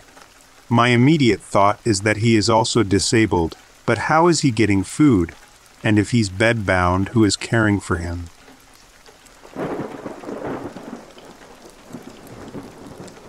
The first house my parents owned, into which I was born, was in a rather nice area, but happened to be next to an outlier. A halfway house that had come about through a noble but misguided bequest. By and large, the guys all men who came through in the time my parents were next door were, I'm told, very good sorts. They were basically good people who had made mistakes, paid their debts to society, and were absolutely thrilled to be living in such pleasant surroundings. It was run, strictly on a referral basis, so that only parolees who were ready and suited for this kind of environment were sent there. It wasn't a very professional operation, just a place for decent guys coming out to live and adapt back into good society. Then a guy with a rather darker past, but fairly promising social skills managed to wangle a referral. He was only there for about a couple of months when I was barely a year old, but my parents said they were immediately on their guard around him. Then the body of a little girl not much older than me showed up in the laneway between the houses. New guy went away for a long, long time. My parents moved, and the halfway house was shut down.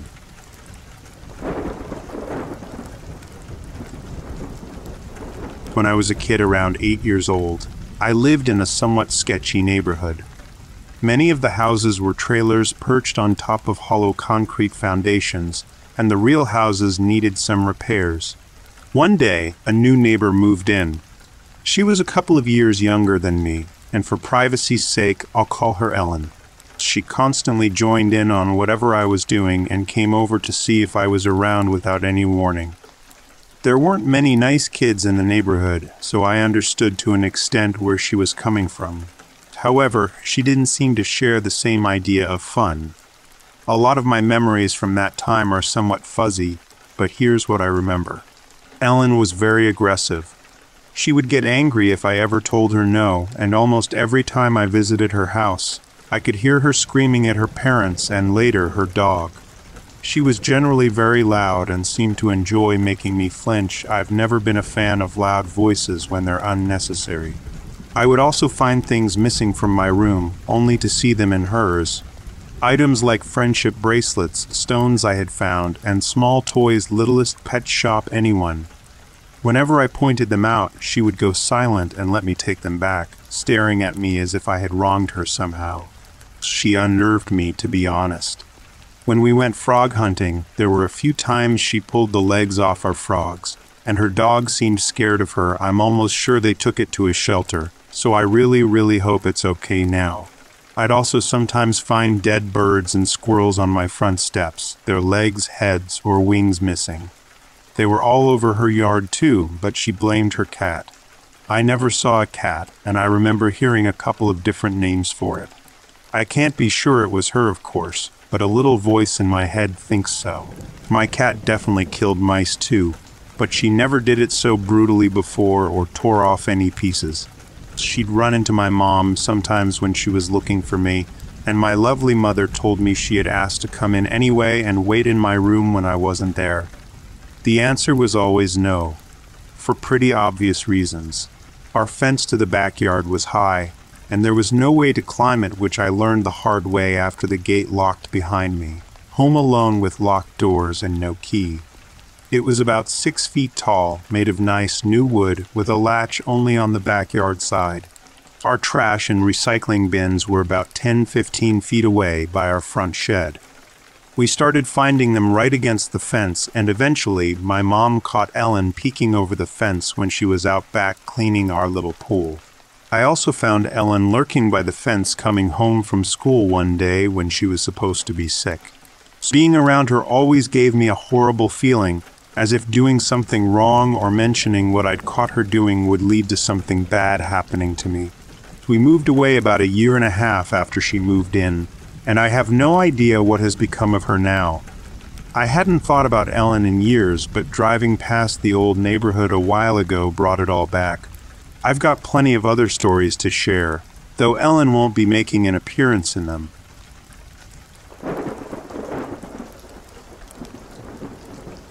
I'm a 22 year old Brazilian male from a really small town, and in 2018 I moved to the capital of my state for study and work. In these five years, I never had a sight of a creepy encounter or even a robbery, but last Friday I had the worst experience of my life. At the start of 2020, I moved to this apartment complex. I live on the first floor of the first block, which makes the space behind my bedroom window a common area. And in these three years, same thing.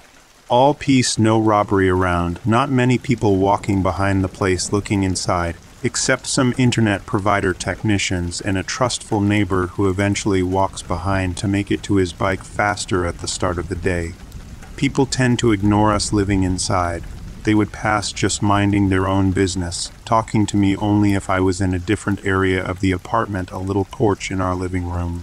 I currently live with two friends from my old town and my girlfriend. Last Friday, one of those friends went back to our town, leaving me, my girlfriend, and the other friend alone in the apartment. So around 3 a.m., me and my girlfriend came home from a bar we like to go to every Friday. At this point, it was all normal. We came, ate something, took a shower, and rolled a blunt like normal couples do. In that time, my friend came home around 3:30 a.m., making the situation even more secure for us as usual. We invited him to smoke some weed, which he denies because he was tired, so we decided to just smoke and go to my bedroom to have sex. During the deed, we hear some strange noises but end up continuing. In some moment, we want to change the position and hear again the noise of something sliding. So I looked at the windows and saw a guy's face, practically glued to the window bars, watching us. I have a very short temper, which leads me into berserk mode, instantly breaking the window glass with my bare hands. I was really pissed and ran to the kitchen to get a cutting knife while repeatedly screaming, I'm going to kill you. When my adrenaline subsided, I managed to calm down and called my mom to say I was going to stay at her house for a few days in my old town. We are very scared and suspicious of the neighbor upstairs, as we saw him in the same place earlier and I could recognize scars from freckles on both the window face and the face from earlier. However, without confirmation, we are left in an extremely uncomfortable position, not knowing exactly who the person is and him knowing exactly who we are. He knowing we were going to be late, knowing where we live, etc. About the dude. The guy we suspect was seen in the same spot earlier picking up weed ends. He looked into the apartment and chuckled. He's my neighbor upstairs. He doesn't work. He doesn't study. He just listens to music all day, does drugs. As I have insomnia, I can often hear him arranging lines of cocaine and then snorting. I hate the way that shit makes me feel.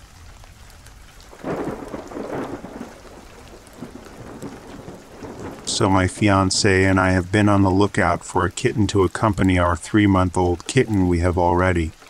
We searched and searched until one day he said to me, Let's look on Craigslist, so I did. We found the perfect one, but the only problem was it was two hours and 30 min away from our home. I inquired about it at around 10.30 p.m. I know it was late. But almost immediately I got a response. She sounded very nice over text and asked to see where I lived so that she would feel settled about the kitten living with us. She also insisted on going to their house, I know. I should have just dropped it at the time I thought nothing of it. So I sent them a video we sent up a time for the next day to meet. Next day came I wasn't going to take my fiance, but he insisted on coming with me because he wanted to be my protection in case since Craigslist is sketchy. So we drove two HRS and 30 men on our way there. As we were on our way, I was texting this girl that we would get there on time, and she responded, Great, see you then we arrived to the home, me in the driver's seat and my fiance in the passenger seat with the window down. I texted the girl and I got no response. I called and no response. I ended up calling five times and texting in the course of an hour and no response. I went up to the house and knocked on the door. Nothing. There was a car in the driveway, but no response from the number or the door. We got there at 6:30 and waited until almost 8. Nothing. The neighbor came out asking what was wrong. I said I'm here since I inquired about a kitten, and she said, A kitten? I said, Yes, it was an ad on Craigslist. She said, No one has kittens in this home, though. I showed her the ad, and she said, Oh, I know them. They are very sketchy people, and they don't own any cats. I just helped them move their furniture yesterday. So I said, Well, on their ad, it says that they have to get rid of their kittens since their new place doesn't allow pets so the neighbor said, That's impossible. I have a dog, and so does the next door over. I immediately found this creepy and assumed the neighbor was also in on something since it was too creepy and I was feeling anxious. I thanked her and left along with my fiance. Literally immediately when we pulled out of the street, I got a text from the girl saying, I'm just now getting your messages. Something must be wrong with me phone. Did you still want the kitten or no? I didn't answer and we headed back home. What I don't understand is they didn't get any money from me, but they asked me to show up not knowing I'd be with my fiance. I had a bad feeling about it. What did they want from me?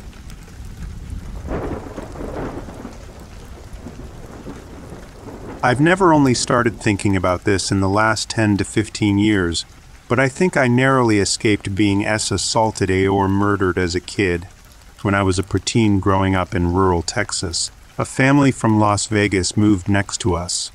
It was Harry, his real name, and his wife, her mother, two daughters, and one of their husbands. I was drawn to them because they were very friendly and interesting. All except Harry. It didn't take long to figure out that everyone in the family hated him. He gave off a real dirtbag vibe. The family had money, but it came from his wife's side of the family. He didn't really fit in with the rest of them.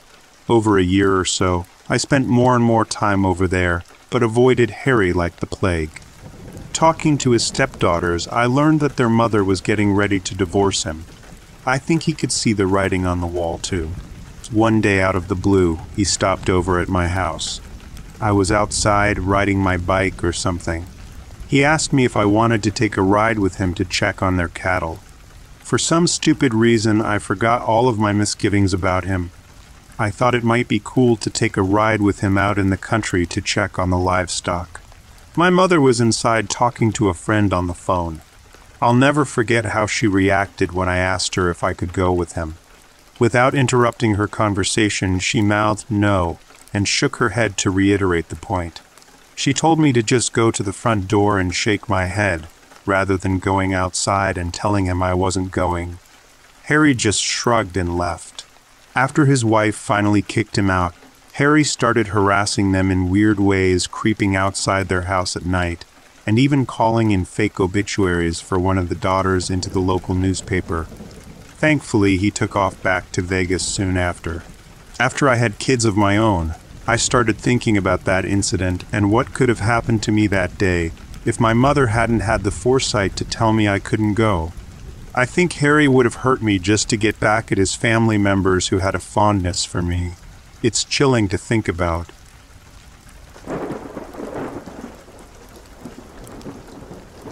Leaving my friend's house, I accidentally backed into a brick mailbox.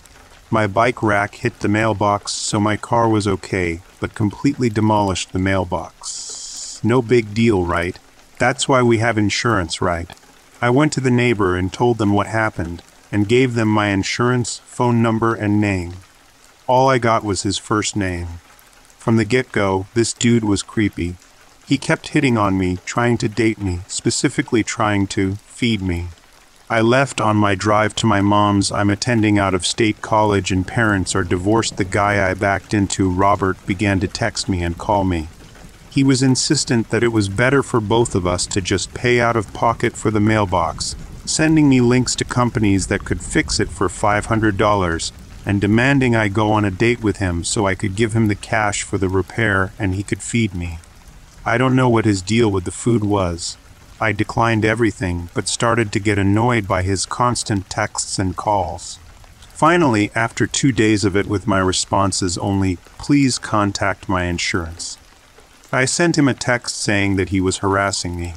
I blocked him, but he made a new number and threatened to report it as a hit and run to the police. I'm in law school, okay, this wasn't a hit and run. I blocked the second number. Then he used a new number to ask me if I wanted him to send a screenshot or video of the accident to his insurance. I admit, this made me angry. I called this number and dug my nails so hard into my thigh I drew blood as he threatened reporting things, asking me on a date, and trying to entice me to just pay cash. I finally screamed, Don't contact me again, you F inbred piece of S. My dad heard me and was upset I said that to someone I was in an accident with. And that I said that to a guy who thought I was cute and just wanted a date. I blocked the third number. Next day, he reaches out again to tell me I gave him the wrong policy number. I told him I didn't. He then said it'd be easier to pay cash, that I was the problem, etc. He was talking to his insurance, I guess, and began trying to validate my info. He had my mom's name, address, and phone number. I verified it, told him to not contact me again, and blocked his new number. Next morning, super early, I get a text, basically saying he finished the claim and I was awful for making it harder. Then it needed to be by going through insurance and not going on a date with him. He then included, You're so beautiful and ugly at the same time. Don't take risks, stay on the good path. Goodbye. At this point, I got scared. Fifth number blocked. Then at midnight, he texts, You up? I know where you live. Don't try and screw me over on insurance. I'll report it as a hit and run. You should have just gone on a date with me. I took the phone to my dad, showed him the texts, and filled him in. My dad, a pretty scary dude, then calls the guy. He answered, Shoot, I knew you were into me. Want to come over? My dad got very mad. My dad said this was beyond harassment. This was his final warning to not contact me, that we didn't care how he reported it, etc. Robert began saying I came on to him and offered sex as payment, invited him to my house, and was a horny bee. Instantly blocked, police contacted, insurance notified, all the things. Next day, talked to insurance, protective order filed. Get another text telling me I shouldn't have involved police. Block seventh number, notify police, go to stay at my dad's because dude doesn't have this address. My dad is a very tall, very scary dude who loves his Second Amendment. Late last night, watching Star Wars with my dad and older brother, doorbell rings. Dad goes to see who it is, and it's Robert with a trash bag filled with things I left at his house. I call the police, my dad goes ballistic, all the things. Police come, arrest guy the bag. Lingerie, a knife, lip balm, and a Dita Von Teese fetish book. Just met with an attorney. Plot twist. Guy doesn't own the house, is an illegal immigrant, is married, and is being deported. I feel awful he's being deported. I genuinely think he wanted to S assault and or kill me. I go back to school in a few days and am so terrified he or someone else will follow me. VTA. I have kept my friend his neighbor informed through whole process. He hasn't reached out to her except for video of me backing into the mailbox. I don't know if an illegal immigrant can be charged with crimes, but he was arrested for stalking, trespassing, felony assault he tried to push my dad, and then spit at him, insurance fraud he lied about the accident to his insurance agent, possession of a deadly weapon with intent the knife in the bag, and attempted breaking and entering. They just kept adding on the charges, lol.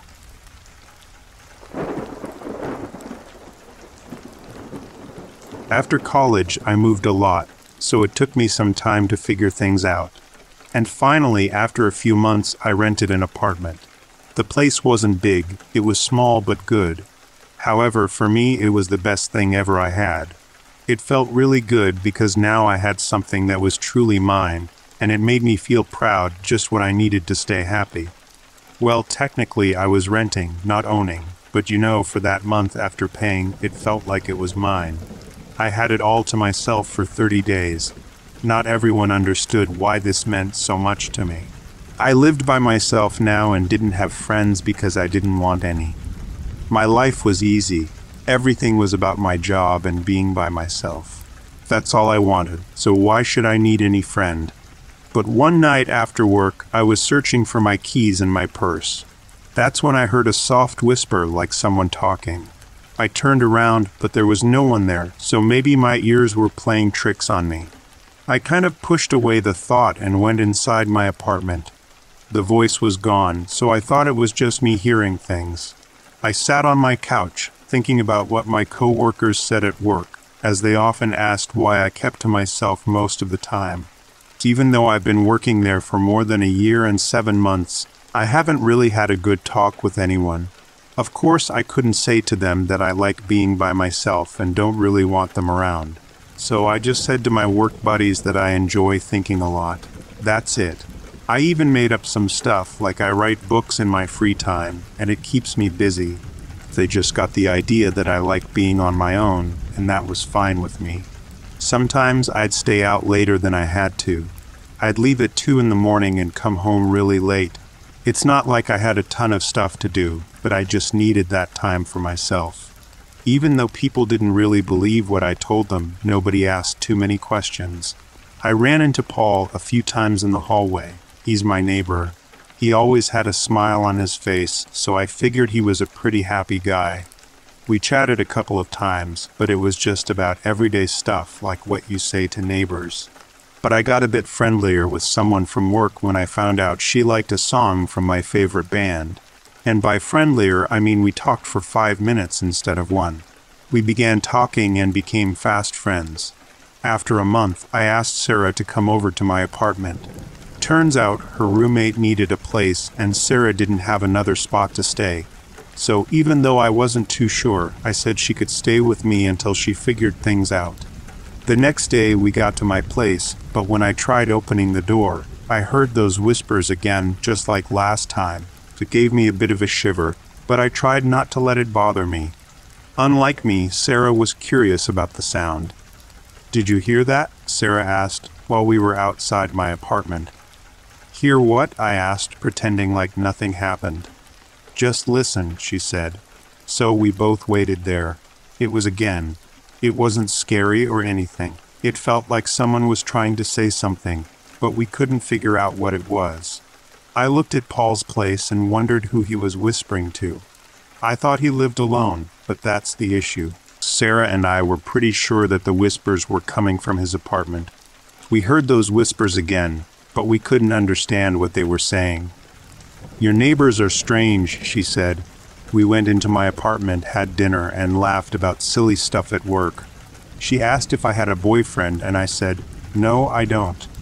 She responded, I kind of thought so, but that's okay. After chatting for a while, we fell asleep on the couch, leaning on each other. I know it might sound strange, but Sarah was one of those folks who made it easy for me to talk. She made me feel at ease and friendly. It brought back memories of a close friend I had in high school named Evelyn, and we were practically like roommates back then. I noticed a bit of Evelyn in Sarah, and it made me feel a bit emotional. Sarah left the next day early in the morning. When we woke up, since I had the day off from work, I thought I'd just chill. There was a knock on my door that brought me back to reality. I thought about not answering for a moment, hoping the person would go away. I had dealt with enough people for one day. Even though Sarah had made a good impression, I felt tired. Talking so much and being around someone for almost 15 hours wore me out but the knocking didn't stop, so I got up and opened the door. It was my neighbor. He seemed upset about something, but I didn't know what it was. Hey, sorry to disturb you, but I wanted to say you were kind of loud with your friend last night. It would be great if you could keep it down next time. I don't like noise. His voice was almost a whisper, similar to the voices I heard last night. He sounded a bit annoyed and upset, that much I could tell for sure. Ah, sorry about that. I'll try to be quieter next time, I said with a smile. I saw a frown on his face turn into a smile right away. Thanks, he said, and then he went back to his apartment. I just shook off the idea that he was acting a bit strange. Sarah and I were actually quiet last night, but it's all good. A whole week went by after that talk. Things stayed pretty much the same. Every day had the usual routine, but it felt a bit off whenever Paul knocked on my door. I felt anxious and uneasy, like there was something watching me from behind, waiting for me to do something not usual. I was sitting at my desk when someone stood by the front door knocking. I pulled myself off the chair and opened the door, and again it was Paul, but this time he looked strange. His hair was all messy, and his eyes seemed like they might pop out at any moment. Can you please stop all that talking? I can't, I can't focus because of them. I don't know what you're doing, stop it. Paul turned and walked away, leaving me surprised without a chance to reply. The sarcasm was gone now, it was just pure anger. I don't really like being bothered about things I'm sure of. that I thought about telling the landlord about him a few times, but then I remembered he lost his wife and kids, so maybe he's still feeling really sad. But one night, when I came home from work late, opened my door, and heard those whispers again, I was curious about what they were saying this time, so I checked it out. I put my head on the door to his apartment and listened. She killed her. She is evil. I can't do anything because no one would believe. Dennis killed Carla. I quickly moved away from the door. My breathing was fast. My mind told me to run. I wanted to, but I also wanted to find out more. Denise told everyone it was an accident, but I know it's not. She pushed Carla off the cliff, and Carla couldn't swim. No, I whispered. It felt like he heard me because the whisper stopped. I heard footsteps coming to the door, so I rushed into my apartment. Denise was my name. Carla was his wife who passed away. Paul knocked on my door. Too scared to do anything, I ran into the kitchen and hid under the table. Denise, can we talk? he called, his voice sounding serious. I was still shaking, scared, and really confused. What should I do? I heard my front door open. I forgot to lock it. Oh no, I felt so dumb. The door squeaked open, and he peeked into the room, looking around carefully before stepping inside. I could see him from my spot in the kitchen, but I knew he couldn't see me because I was hiding low down.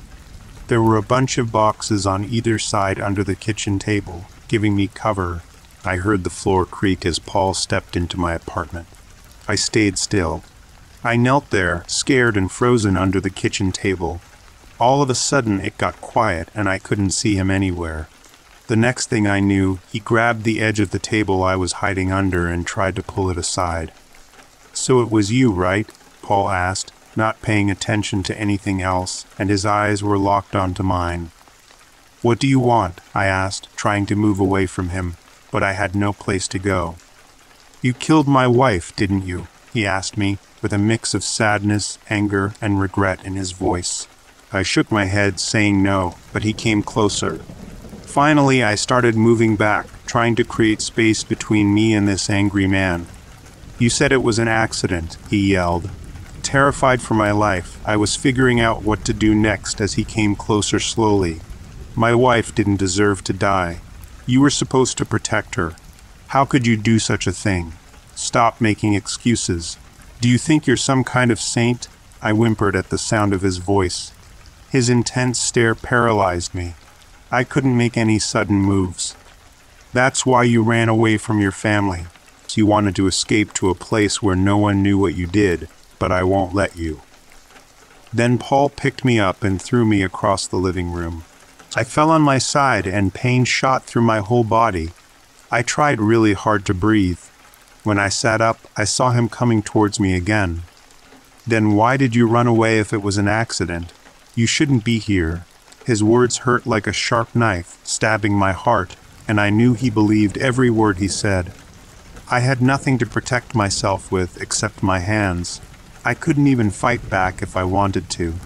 As he came closer, closer, leaning forward, the space between us disappeared. His big hands grabbed my neck, and he started trying to squeeze and bang my head against the wall. With all the strength I could find, I leaned my body into him. I bit his arm until he let go, and I tried to run away, but before I could reach the front door, he grabbed my shirt and threw me into the living room like an empty bottle. But this time I hit my back on the shelf. I was sure I had a few more broken bones. The pain was too much. I didn't mean to hurt her, I said. She was my best friend, I cried, pretending like I did it. This was my last chance to survive.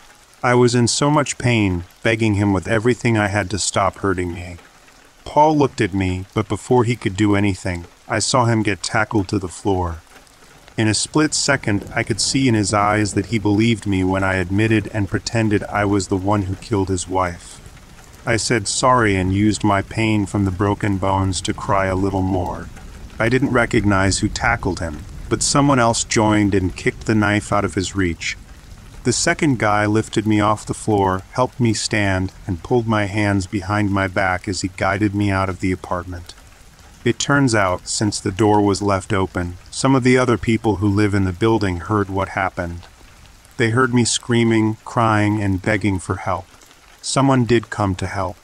Two other guys subdued Paul while I was carried out of my apartment. I could hear groans and grunts as they struggled with him. After that, the medic showed up. Everything became a blur, and I was in a lot of pain, so they gave me gas to make the pain go away. My whole body felt numb. I needed several operations because of my broken bones. My neighbor Paul, who acted crazy, was put in a mental hospital. It turns out he had severe problems with his mind, like schizophrenia, delusions, and trouble controlling his.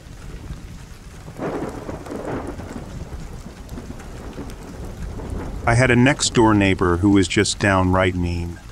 Our house was a double block, so we had the next door neighbor who was actually next door on the same street, and then another neighbor who we shared a fence with, but her house was around the corner. And this lady was just mean. Often I would hear her screaming at her toddler like three, four years old that she is worthless and pathetic. I also had some pet chickens, and I kept the wings clipped, but chickens will be chickens, and sometimes got over the fence into her yard. Normally, I would run around, collect the chook, and come home. Like these were pets you would walk up, and they would just look up at you waiting to be picked up and cuddled. One day, before I could get around to her house to get the chook, she just let her dog out on it. You could hear the dog ripping this poor little chook to death. It was horrible. In front of her toddler, no less. She then started screaming that if it ever happens again, then she will put the dog into our chicken run to kill all our chooks. We then put a higher bid on the fence.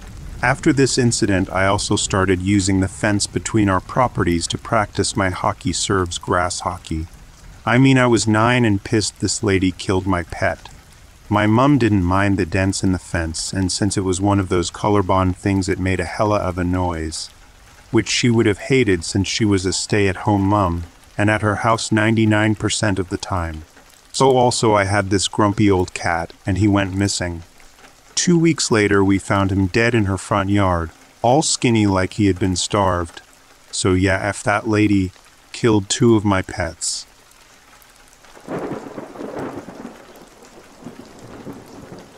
So, this is a story of how I was probably almost as assaulted and never realized it until about 15 years later. We had neighbors up the street, and when I was a kid, their son, probably teenage, I honestly don't remember, would sometimes come and babysit or keep an eye on me while my parents were out. Not a big deal or a formal thing, but just someone to keep an eye on an eight year old for a few minutes. Well, at some point I was telling him about a club that my friends and I from school had, and he started talking about the cooler older kid clubs there were, one of which apparently involved tickling each other's butts. I was kind of weirded out by it, but eventually he talked me into tickling his give me a break. I was really young and not even remotely aware of sexuality while he was still dressed as a warm up sort of thing. I must have mentioned something to my parents about it at some point, because after that I never saw the kid again. It was the kind of thing I randomly remembered like 15 years later during a slow night at work, and realized that if I hadn't said anything or had been just a bit more gullible, I might have had an entirely different childhood. So, for any younger Redditors out there, if you've got a neighbor of friend or family member that wants you to do something that feels weird or uncomfortable, just mention it to your parents. Might be nothing or might save your life without realizing it.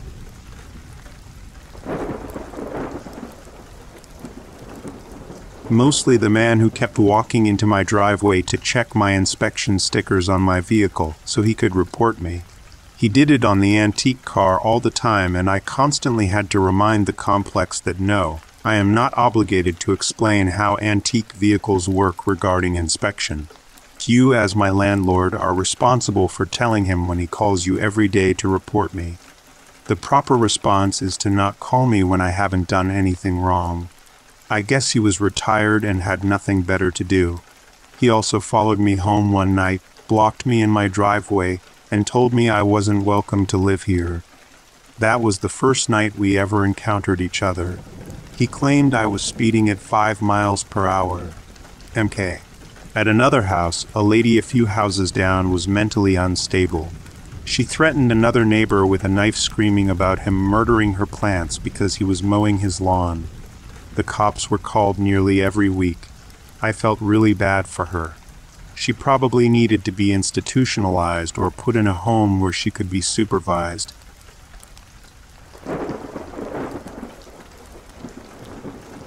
He was mid 30s, unemployed, lived with his girlfriend in the house next door, and was a tweaker who had been in and out of jail. He was a rabid white supremacist despite acting like a gangsta and listening to rap music 24 7 and had been kicked out of both the KKK and the Aryan Nation because of his drug habit. His girlfriend was half Mexican. He had a KKK logo tattooed on his arm. One time when I was about 12, we came home from vacation. One of our windows broken and he was asleep on our couch. The whole house reeked of a smell like burned cat piss, probably meth. I guess he didn't pay the power bill and didn't have any air conditioning or TV, so he decided it would be a good idea to break in our house and use ours. He didn't steal anything except a few beers and some food out of the fridge, so we decided not to call the cops, and my dad just gave him a long talk about getting his shit together and offered to help him get a job, which he declined. That was a mistake. He eventually got a job at Taco Bell and was fired three weeks in for showing up to work high.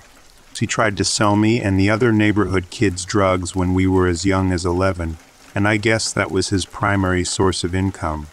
He had groups of people showing up at his house at all hours of the night and never staying very long, so I suspect they were customers. He went to jail for a while for drug possession when I was about 14, got out about 18 months later. We also suspect he stole cars since he occasionally had one or two under tarps in his backyard. He probably beat his girlfriend. We never heard it, but she was always covered in bruises. He liked to hang out in his backyard and try to talk to me when I was outside playing or whatever when I was a kid. He also creeped around the local middle school. He'd hang out in the parking lot and whistle at girls and make sexual comments. I thought it was just a little bit creepy when I was 11, 13, but I didn't realize just how messed up it was at the time. There were also occasionally young teenage girls at his house when his girlfriend was at work around that time, he said they were his nieces and tried to get me to come over and play with them, but now I doubt it. Never saw their parents, and they were always gone before his girlfriend got home from work. About a year ago, a whole bunch of cops raided his house and took him, his girlfriend, and young woman about 19 or 20 years old who I'd never seen before out in handcuffs. Haven't seen any of them since, don't know what they were arrested for.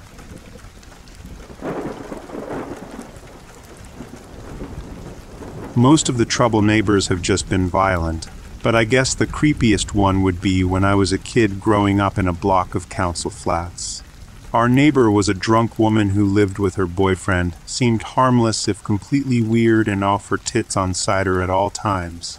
Then one morning, me and my little sister have to go to school via the fire escape, and the hallway smelled funny, especially around the rubbish chute, Turns out they had turned on each other, and she had stabbed him to death before trying to get rid of the body. Luckily, my mom was able to use this as fodder to get us into some nicer housing.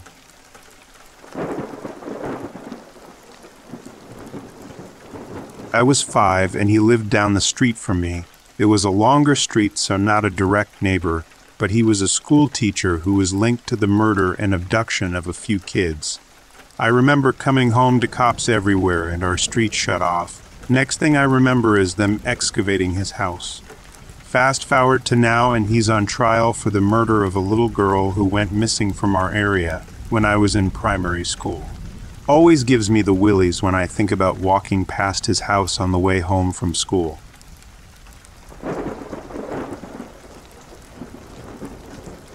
I lived in a very remote area, no cable dial up internet until 2010, no public transit, etc. All us kids who grew up out there were a little strange, but there was this one guy who put us all to shame. He always seemed a little slow. He was about seven years older than me, but would come over to play all the time when my younger sister and I were really little. My parents took pity on him, I guess. Also, this being the late 80s, early 90s, things were a little different. We were free-range kids. He used to shit in our yard all the time, and my parents used to joke about it. To be fair, it was the bushes we all pooed outside, but usually not in our neighbors' front yards. The last straw, the reason he wasn't allowed to come over anymore, was one day he punched me in the face, I'm a girl, stole our kitten, rode off down the road on his bike, and abandoned the kitten in a ditch beside the road. My older sister just happened to see him take the cat, followed him, and rescued her from the ditch. My sister told our parents, and the neighbor was banned. One day, when I was about seven, I went for a walk with my dog down to the beach and back. I kept having this weird feeling I was being watched, but ignored it as I didn't see anything out of the ordinary. When I was almost home, creepy teen neighbor popped out of the bushes beside the road. He told me he had been following me the whole time.